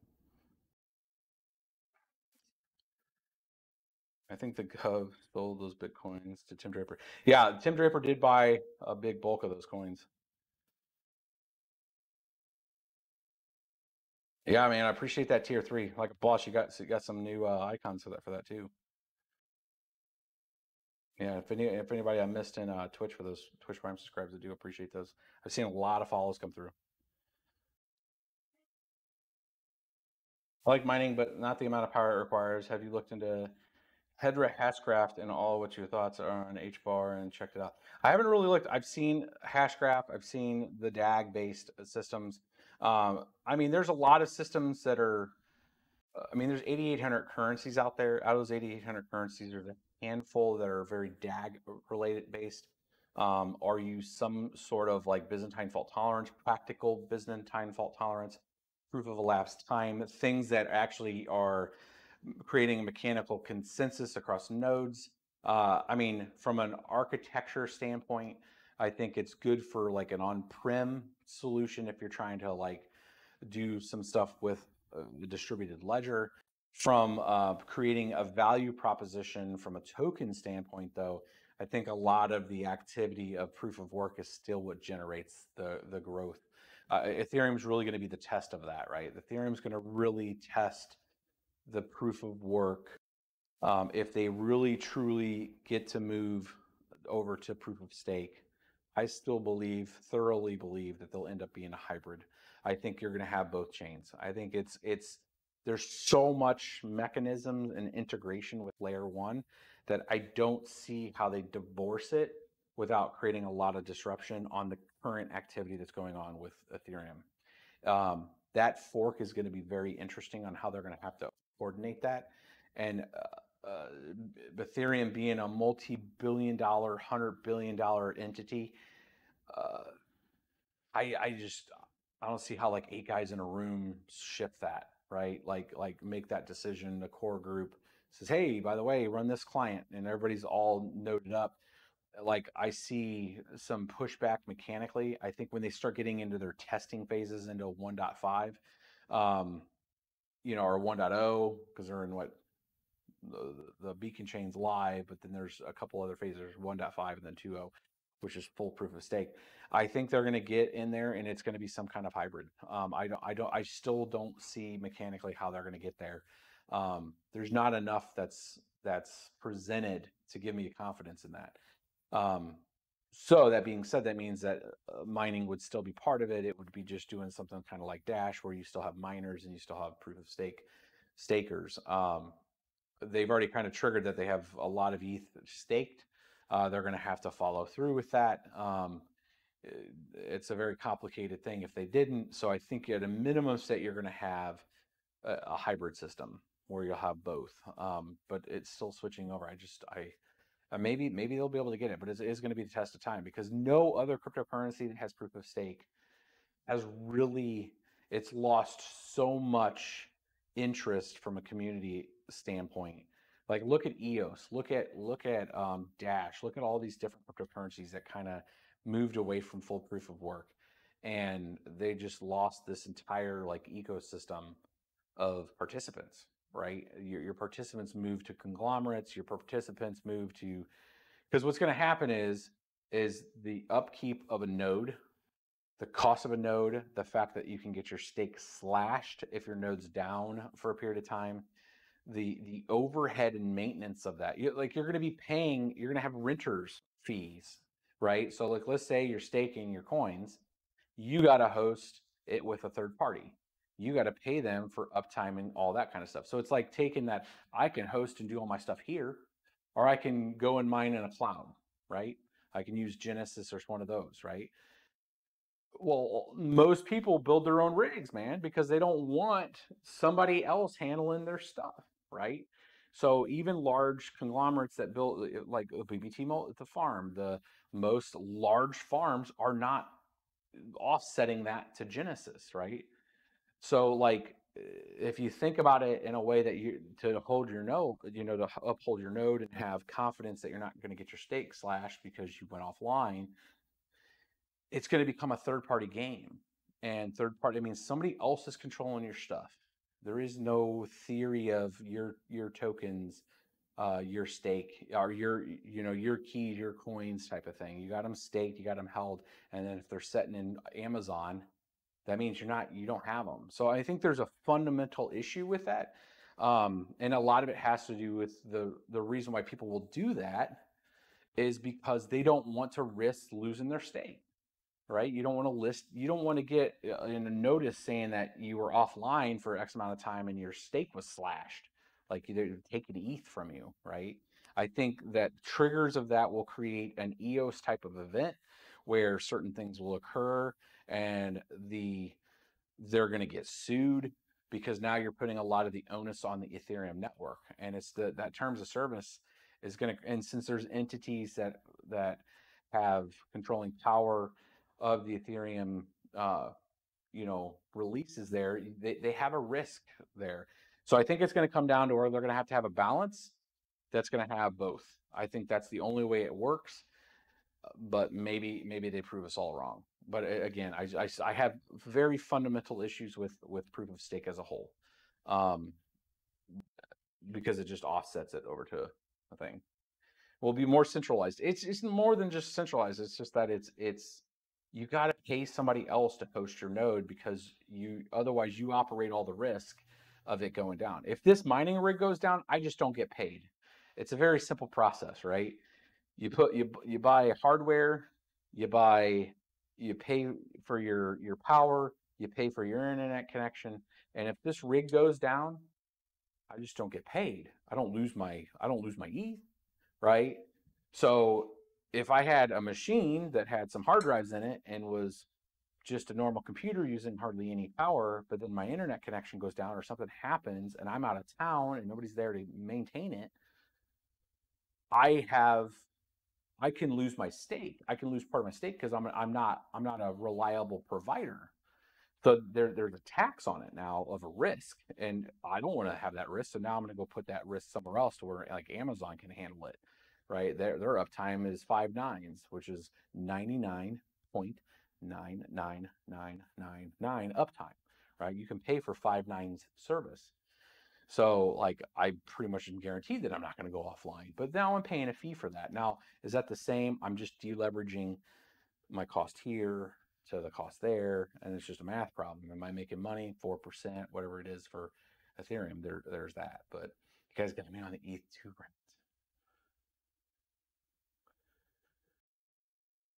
And, and I'm trying not to be anti ETH because I love ETH. I, I've I've had a lot of um, value proposition with ETH. I love the development of ETH. I love a lot of people that work and build on ETH. I'm just not super convinced on the strategy on the staking side of it because of the slashing and some of the stuff. Yeah, I think a lot of people are on the fence too with it. I mean, I want to see it better. I want to see the the questions I have uh, like at least calmed and like, hey, that's the one percent issue. You, know, you won't have that kind of issue because of this. It's it's it's informing myself better for I can help you guys get more informed. Um, and maybe uh, like if I like, can you imagine like I should do like an hour like try to invite Vitalik on the channel and just to see if he'll do it. Like that would be interesting. I mean, I know enough people in ETH I could probably get it done.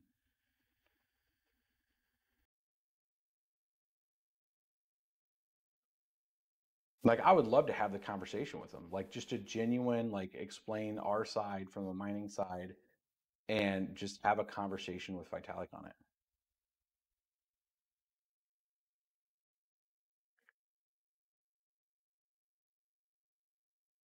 Proof of stake nodes would become targets for DOS attacks. They could be. I mean, there, there's a there that's a possible attack vector for sure. Yeah, I'll see if I'll see if he'll if we can find a time. EIP one five five nine is going to happen. What do you think? Um, I mean, maybe soon. I mean, there there. I don't know if it's actually. I know it's been an accepted status. I don't know when it's actually going to happen. And so their premise on EIP 1559 is that it doesn't necessarily, the audit showed that it didn't necessarily drop fees, it's just the fees are burned. So their basic concept on that is is instead of paying miners for the growth in the fees, that there's a better economic incentive versus paying us that there will be less ETH, so ETH's price will drive up, which is like a, a circular issue because if ETH's price is up exponentially, then there's more activity possibly on it, which creates more fees that are just burned, and it's like a like a circle. Um, I mean, eh, right now ETH's ETH's running at almost double like the payout. So we get two payout per 15 seconds um, with the inflation on ETH, and there uh, ETH's been running anywhere from 3.3 to 3.7 up to four um, ETH total. So EIP uh, 1559 right now would have the effect that we would lose about half of the profit right now at the current price um, if it was implemented like tomorrow because it would fix our payments now to two coins only. Um, so we would feel an immediate effect of that. It would be like uh, not fifty percent, but it would be a pretty significant. Like if you're making like eight dollars a rig right now, you'd make four dollars a rig, close to four, four fifty, something like that. Or you know, if you're making uh, twelve dollars a rig right now, it would it would go down to six, seven dollars a rig. It's just again another another another dip for for miners. What's the plan with this rig build? Uh, well, we've already went kind of uh, a couple hours or an hour and a, 39 minutes. I'm gonna I'm gonna make it a Polaris build, and we might do this on part two, since I I took so long. I started. I, I should have had. I should have set the settings of just having like a conversation with you guys. But we went through a lot of cards this, and we got a plan. Um, now I just need to get all the parts here.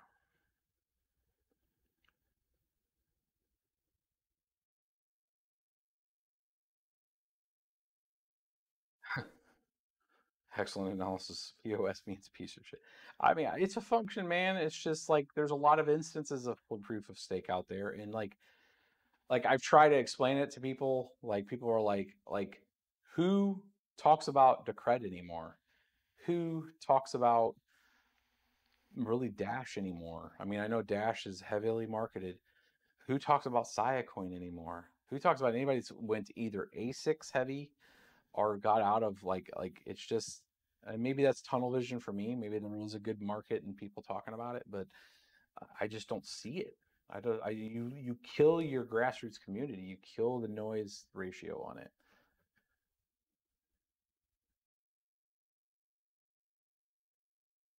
Open your eyes. Conversation is always good here. Thank you, bro. I don't have all the answers, man. I just I'm in the space. I live the space, and you know I come from that technical. Um, I love technical things. I love learning. I read a lot about um, content. I try to understand on how things mechanically work too with it, and you know we'll see. What's your recommendation on risers? We had this uh, conversation earlier, Karen. It was uh, version six S with the six pins. Have you ever looked at AVAX? No, I have not. Well, I think this build is going to turn into. I actually got to find a power supply. I don't think I actually have a power supply here. I wanted. I started this build and I realized that I do not have a power supply here at the house. I need to get a new power supply for this. I mean, I can pull it out of a machine, but I think I only have a 750, which isn't going to be enough for this build. Kimmy would like to some details on technicals with two OGs.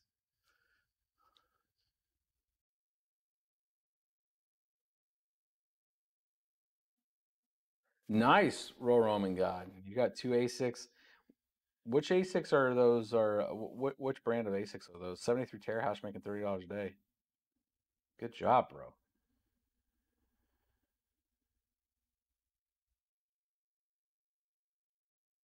Cryptos were built off the backs of miners. Well, we uphold the network, bros.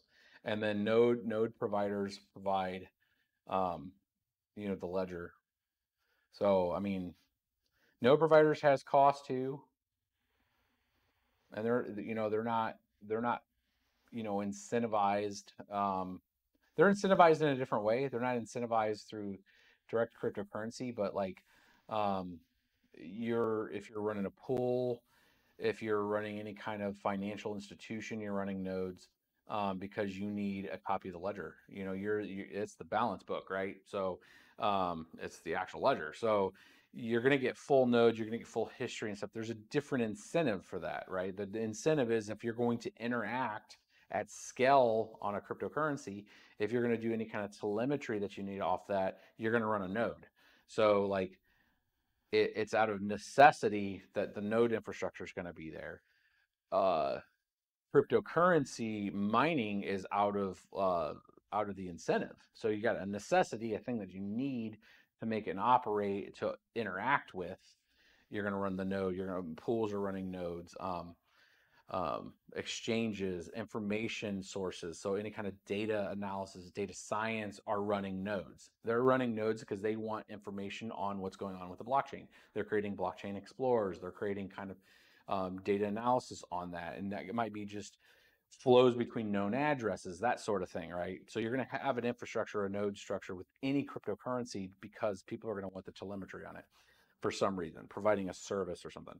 And then crypto miners are just automatically incentivized to participate or not, right? Um, and uh, their ability to participate really is predicated on do they want to invest time and money to earn a cryptocurrency and, and, you know they're incentivized in a specific way so like i've tried to explain that like like people are like well you know nodes aren't you know that's the way proof of stake is they're like node providers like no bro like nodes are for there's a purpose for a node right um but to upheld the security the change of the business rules the uh, if you're going to consume a hard fork or not like if people are flagging for it you need nodes to accept that you need miners and pools to accept those changes uh, miners then pivot over to that. If it's an algorithm change or if it's a new set of, uh, um, you know, features or functions, it's got to consume that new that new function there. They secure the network to ensure that you know somebody doesn't 51% attack it or try to pivot, uh, you know, a new build or change to it. Um, you know, or incent, you know, get get nodes to do that too. Um, it's just different. They're they're complementary. Obviously, they're both incentivized to to uphold. Um, but yeah, it's I don't know. I'm still I'm still not sold on the proof of stake bros. Anything ever going to happen with Ethereum Classic? Uh, I, I it, it did its Thanos upgrade. It dropped the DAG file down to two and a half, so you can mine with three gig cars on Ethereum Classic. It's different algorithm, so they made it to where you it's grossly hard to um, try to attack it now. Uh, it creates this ex- exponential um like if somebody starts to try to take over 51% they actually have to do like 39 times the 50% requirement uh, of the current network hash power so equivalent to like right now they would have to have uh, i mean times 10 of the current network hash rate would be 70 terahash times 20 would be 140 terahash it would have to have almost the same amount of hash power as the ethereum network to try to attack ethereum classic at 7 terahash right? So like it's highly improbable now. So they created a mechanism that creates this exponential scaling um, to attack it. So yes, has anything happened with uh, Ethereum Classic? Yes, hard fork has uh, quote unquote fixed some of their problems. Is a GTA X 1080 Ti good to mine with? Um, yeah, I mean, if you can't find any other GPUs, yeah. Uh, it's with the ETH pill. It's still around almost 30 mega hash, 28, somewhere around there. What does a node get the fees, or does is the miners? Miners get the fees. So miners are compensated based on the inflation of the coin plus the fees that are happening within the time of the block. So in Ethereum, every 15 seconds, whatever the the sum of fees that occurred in that block so whoever wanted to get in that transaction into that block, they compete to have the highest rate. The sum total of that till the block is full, because most of the blocks are filling up now, um, both on Ethereum and on Bitcoin. Um, you get the the distribution plus the fee. So right now, Ethereum should only be getting two coins per block. It's getting about 3.7 right now because folks are um, competing for that space. So now you're we're getting we're we're reaping the rewards for that. It's been as high as 12 coins per block just this last week. So like if you had a little bump in uh I think around Sunday, Saturday this past week, it was like 9 to 12 coins per block because it was 2 coins and then 10 coins for the the uh the fees. So um, Bitcoin's the same way. You guys can tell me right now what the Bitcoin blockchain average blocks are, but it's been the 6.25 every 10 minute distribution plus like an extra um, two to three Bitcoin. Um, so it's been like close to like think nine Bitcoin, um, sometimes even more than that uh, on the distribution. So miners for Bitcoin miners have been getting not just the reap and rewards that Bitcoin has raised, but they're also getting the bump in the amount of uh, the amount of actual currency they're getting because of the fees that are included with it. Node providers don't get anything. They they provide um, their hosting. If it's a full node, they're hosting the entire blockchain, and they're running essentially the client, the daemon to to uh, that goes and connects to the other nodes and just keeps everything, all the block history there. Um, they're incentivized for different reason. They're incentivized to just if they want to have telemetry on the entire blockchain, right? If they need to search or they're running a pool or something to that effect, and they need to form a block because they just won one um, and include that, they would then post that um, their proof and their block to their local node, and then that local node would then propagate that out. Um, and you do have sometimes race conditions on that, and you could have an invalidated block. So everybody that's mining, a lot of people don't catch this. Um, when we're mining, we're all if we're on a block and we're mining, everybody in the entire world is mining that same block. So we're all working on the same exact solution at the same exact time. And the probability of finding that solution is super, super, super small, right? So then if one miner, this like, let's say this machine was built and it found a block for Ethereum and I was mining to Ethermine, this machine would find the solution, submit it to the pool. The pool would say, yes, hey, this matches it. I'm going to include that into my node and then I'm going to broadcast it saying, we found it. Here's the transactions that we're including. We have this block. And that's going to start to propagate and get verifications and all that. And then those coins are then minted. So the coin base will come out and say, okay, new block, this many coins are generated back to this address. Here's the network fees as part of that, as part of the mempool. It pulls that together and then distributes those funds. Those go into the hot wallet, the local daemon wallet of an ex- of the pool. The pool then keeps a separate database list of everybody's submitted shares of the work effort that they have done, and then they distribute that through a process of essentially you've submitted X amount of shares out of a total and you have a percentage of that particular block. So the exchange, the pool will take their 1% fee or whatever, and then they'll distribute the that block. Every block they get, they'll distribute it to all the different miners on the pool. And that's the way it works. Now you could technically solo mine against your own node and take that same solution. It's just like a big number line. Um, search. And I don't know if anybody's ever seen this. I'm kind of I'm kind of going a little long on this, and hopefully you guys don't mind. But this is kind of cool information, and I'm why not tell you guys? Uh, I wish I could find a little marker, and I'll explain on how it works. Um, uh, we're just going to knock stuff all over the place here until I find a marker that is not permanent. Um, so most miners have like a oh man that is dark marker on that is not going to work, my dudes. I need my other markers, which are gone. My kids just just totally took all my markers. Um, and unfortunately, I'm not going to be able to show you. Oh, well. That's a bummer. I don't know, bros. They're they're all gone. It's all gone wrong. So essentially, it's a number line. So think think of uh, think of number line in school um, you know, 10 on this side, negative 10 or, you know, 10 on this side, zero in the middle.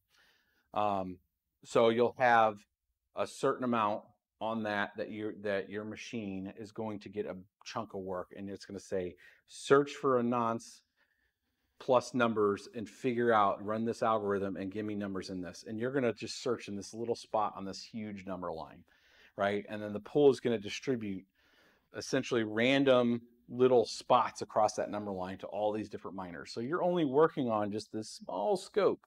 And maybe that dot's in the middle of that line that you need to find.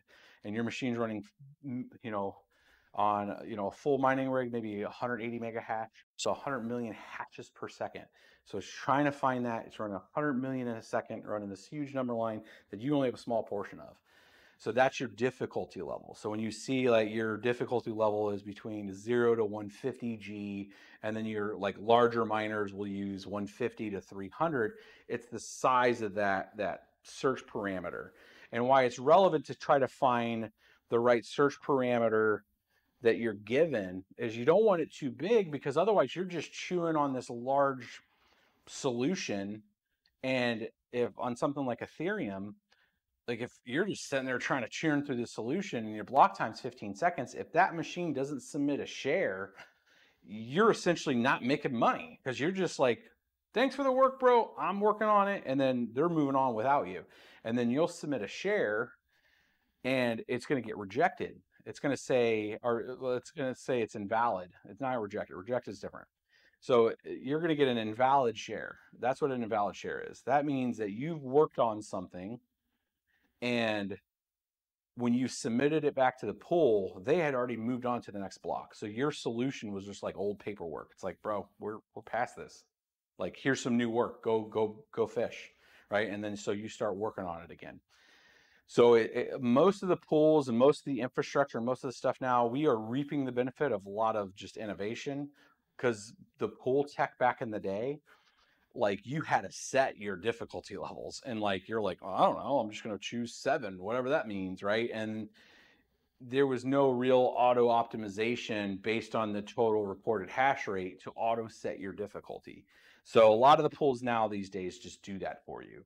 They will set your difficulty um, uh, like very quickly they'll they'll change your your difficult setting. And you'll see that with like ravencoin and a few of the other different cryptocurrencies where um, you'll notice your difficulty adjustment is changing. What that's doing is saying, hey, you're reporting this hash rate, so I want to make sure that I'm giving you the appropriate work that you can submit me shares in the right amount of time where we don't invalidate your work.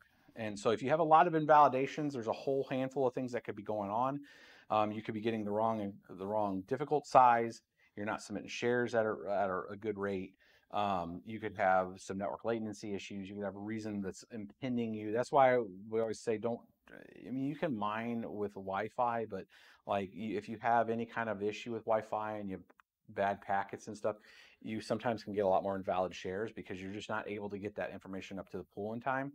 Um, if you have rejected shares, that's a little different. Rejected shares could be for a couple different reasons. Most of the time, those are related to like if you're if you're overclocking your card too much and it's actually getting an incorrect result and you're like how can my gpu that's like a calculator get an incorrect result? Well it's the same kind of thing that happens with like if you overclock your gpu and you're playing a game and it's it's actually rendering the pixels incorrectly you're getting um, artifacts you're getting inconsistencies you're getting errors on there and what happens is is it, it, it doesn't it gives it a bad result and it comes back and it rejects that share. It says, "Hey, you know what, dude? I don't know what's going on, but that was the wrong answer," and it sends you the the uh, the thing on that. So, man, I just totally like went on a huge tangent with you guys.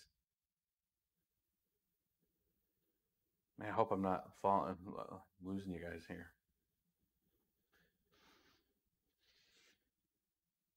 Like some of this stuff is what I was going to actually cover in like one, one of my crypto kind of explanation videos, but sometimes it's just fun just to go through with live with you guys. How do you know when you have invalid shares? Nicola, Nicola is asking. Um, you'll, you'll see it on uh, when your miner's coming back and it shows all the good shares. You'll have like a large number, and then it has a slash, and so there's three numbers that you get. You get your your good shares that you've submitted, and all the totality of shares that you've submitted, you have your invalid shares is usually your second number, and then your third number is your rejected shares, and it's usually in red. Um, and it says, "Hey, you got some bad bad shares there." And I mean, rejected sometimes. I mean, sometimes you get it. Um, and different cryptocurrencies act a little differently too. Um, like Ethereum has an entire thing um, where you had the race condition still is paid out. So what I mean by that is like if you have two competing miners that both find the right solution, they both submit to their pool. The pools both build the blocks and they compete to say that they have won almost I mean, I'm talking within milliseconds of each other. It's literally what they would call a race condition to where it's like, can I get enough consensus on my one side over the other?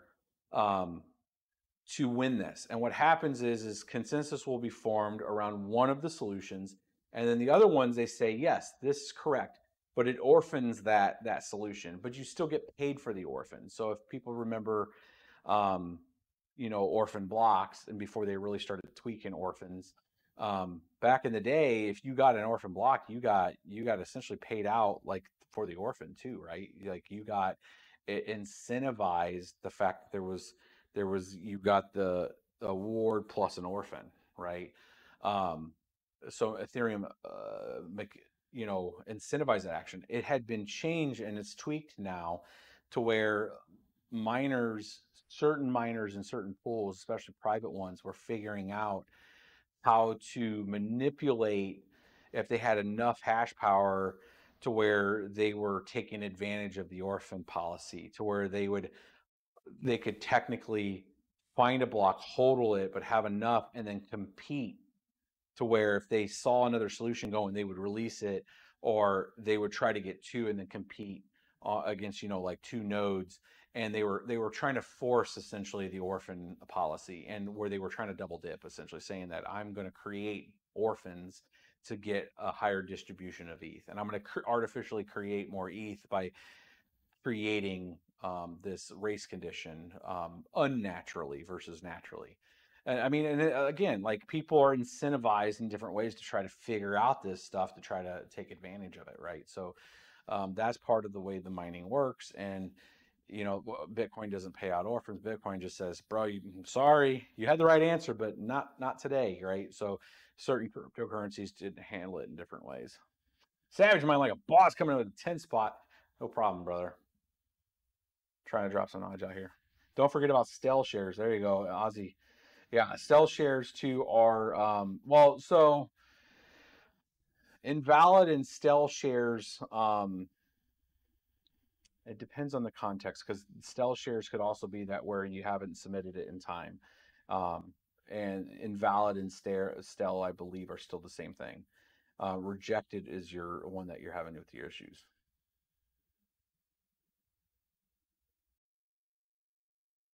If I remember correctly, I am, it is getting late.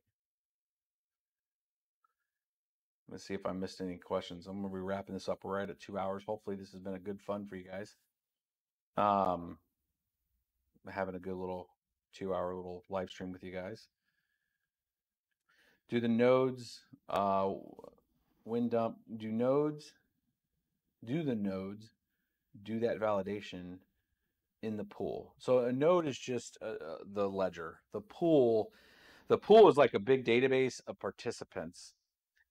Reads essentially the node and forms the new block of work that they're working on. So it, it like a new block is found, their node is updated.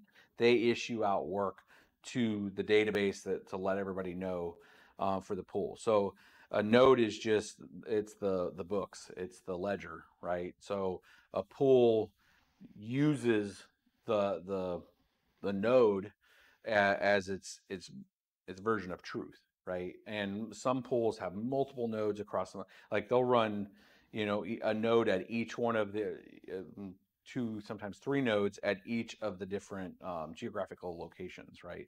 So they're trying to make sure that hey are we are we on the right chain? Um, is there a chain fork and all that stuff? So it's a it's a necessity for something like a pool is there a zombie mode for the 4 gig NVIDIA cards? I, that's a great question, bro. I don't think so. And if it is, you guys can tell me because I think it's only an lolMiner right now. So you store this info in your cache, yeah?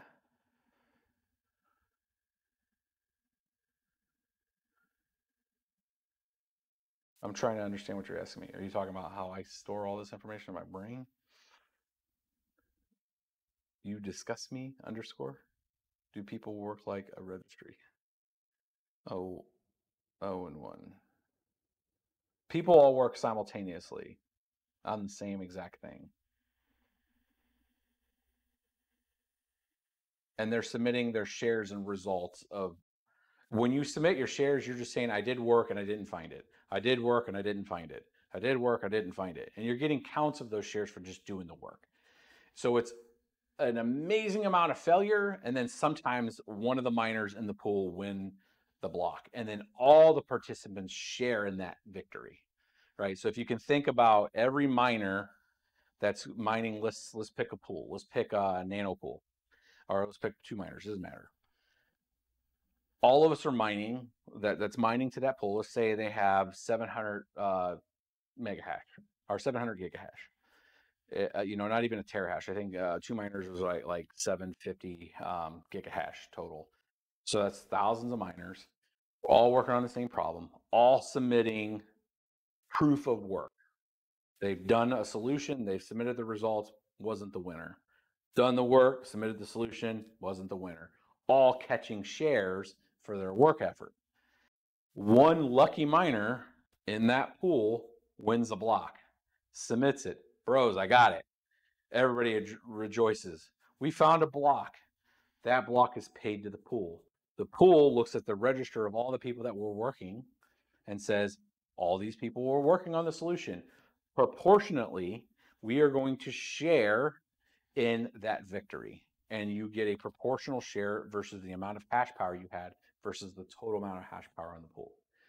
So you might have been the lucky winner with just single rig and you had a whole entire other guy with a mining farm that submitted a lot of solutions, maybe 60% of the entire pool, but he gets to reap the most of the rewards because he was working the most at the pool. And that's the way it works. Um, there are different pool designs. You have some pools um, where you had like uh, ethermine.org, I believe it was, not, um, uh, was it Ethermine? I think it was Ethermine. Um, or Etherminer. It was one of the other ones, which was what they call a you submit shares forever. And it's whoever's on the top of the list wins the next block. So eventually you would work your way all the way to the top to where the next block that was won on that pool was yours. So it was done through this kind of stacked thing. So you got to have a guy that had a lot of hash power that's winning blocks all the time. He may be winning the block, somebody else may be winning the block, but he's always going to be receiving the block because he has the most hash power. But eventually your share count would reach to a point to where you're going to be on the top of the list.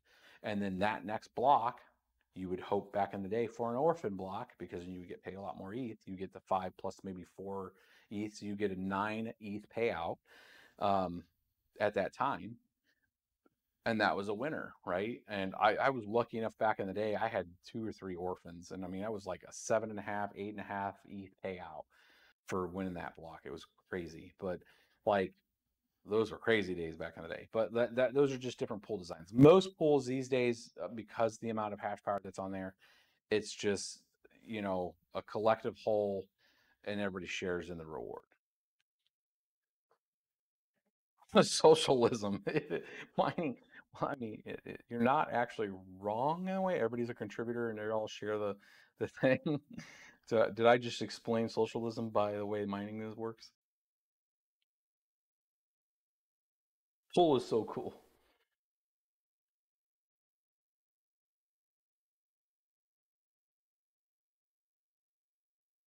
Any plans for RTX 3000 series builds? Uh, I mean, not right now. We were we were talking about maybe trying to find um enough 380s to do it or 3080s, but I, like right now, I even if I could get them, I'd feel bad to do it. So I think we're gonna hold off uh, on doing RTX uh, 3080 builds. I, I've been waiting for the mining edition cards that were supposed to come out here this year.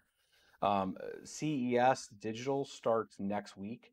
I'm actually going to be doing that. I'm actually going to be covering some of that um, I will try to go live with some of that stuff with you guys. Uh, I'm going to see if I can simulcast some of it. I think you guys can register for some of that. I don't know. I don't, I don't know how it's actually going to work this year since it's all digital. CES is digital. Um, there are a couple mining companies um, that are supposed to be there. Um, and hopefully I can get some time with them and bring that content to you guys. But a lot of the stuff is going to be asking questions around, um, you know, uh, what are we going to look at from mining series? Uh, I think Man Lee's going to be there and a couple others.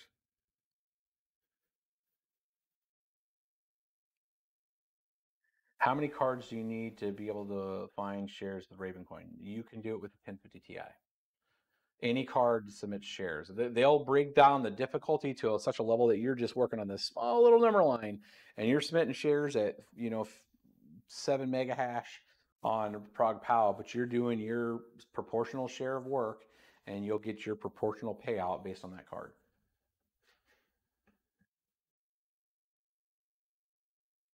What are you doing with all your 4 gig cards? Uh, so most of the 4 gig cards at the farm right now are still on ETH running on um, the uh, zombie mode. And I think they're at like 24 mega hash right now, down from 30.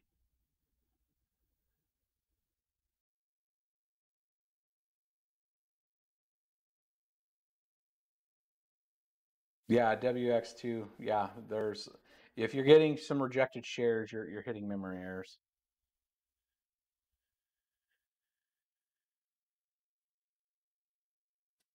Your RX 6800 XT is not booting on the B250 Mining Expert. Make sure you have the latest BIOS. I know that that's a PCIe fourth gen card.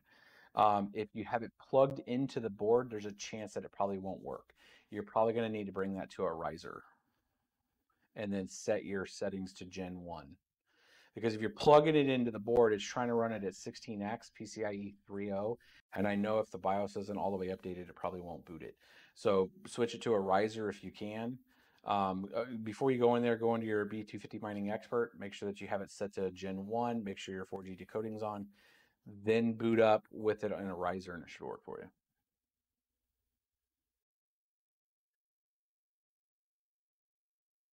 Will your RX 588 gig still be able to mine? Yes. The ETH, ETH is uh, 4.01 on the DAG file.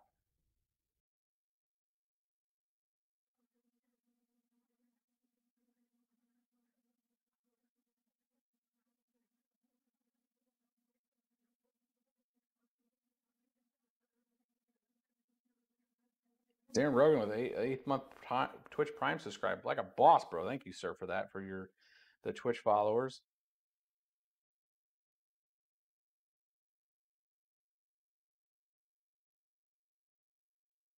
All right, guys, I think I'm going to start to wrap this one up. Hopefully, it's been good and fruitful content for you guys. I know we didn't get to the mining build. This is kind of false. Uh, I'm going to change this uh, this title not to uh, freak people out with it um, and call it more of a. You guys can help me with the title naming, um, and maybe we can find somebody that's awesome and wants to do some some uh, different uh, timestamps um, post your Ethereum address or your uh, ETH Classic address if you're going to do that. Maybe I'll have to throw you some ETH Classic for that. I'm going to try to find. I need to do some uh, stuff there. This was great. People say that was good, cool, awesome. Um, yeah, I'm going to change the title because that's kind of false advertising. I did not fully build a rig. We just questions were good, and I want to ask it, or I want to be able to tell tell you guys what I can. Q and A. yeah, it's just Q and A. Crypto Q and A. There you go. That was that's maybe the title. Cool, bros. All right. Well, on the Twitch, folks, I'm going to send you guys over to Market Cap here. Let's see here. Am I not signed in?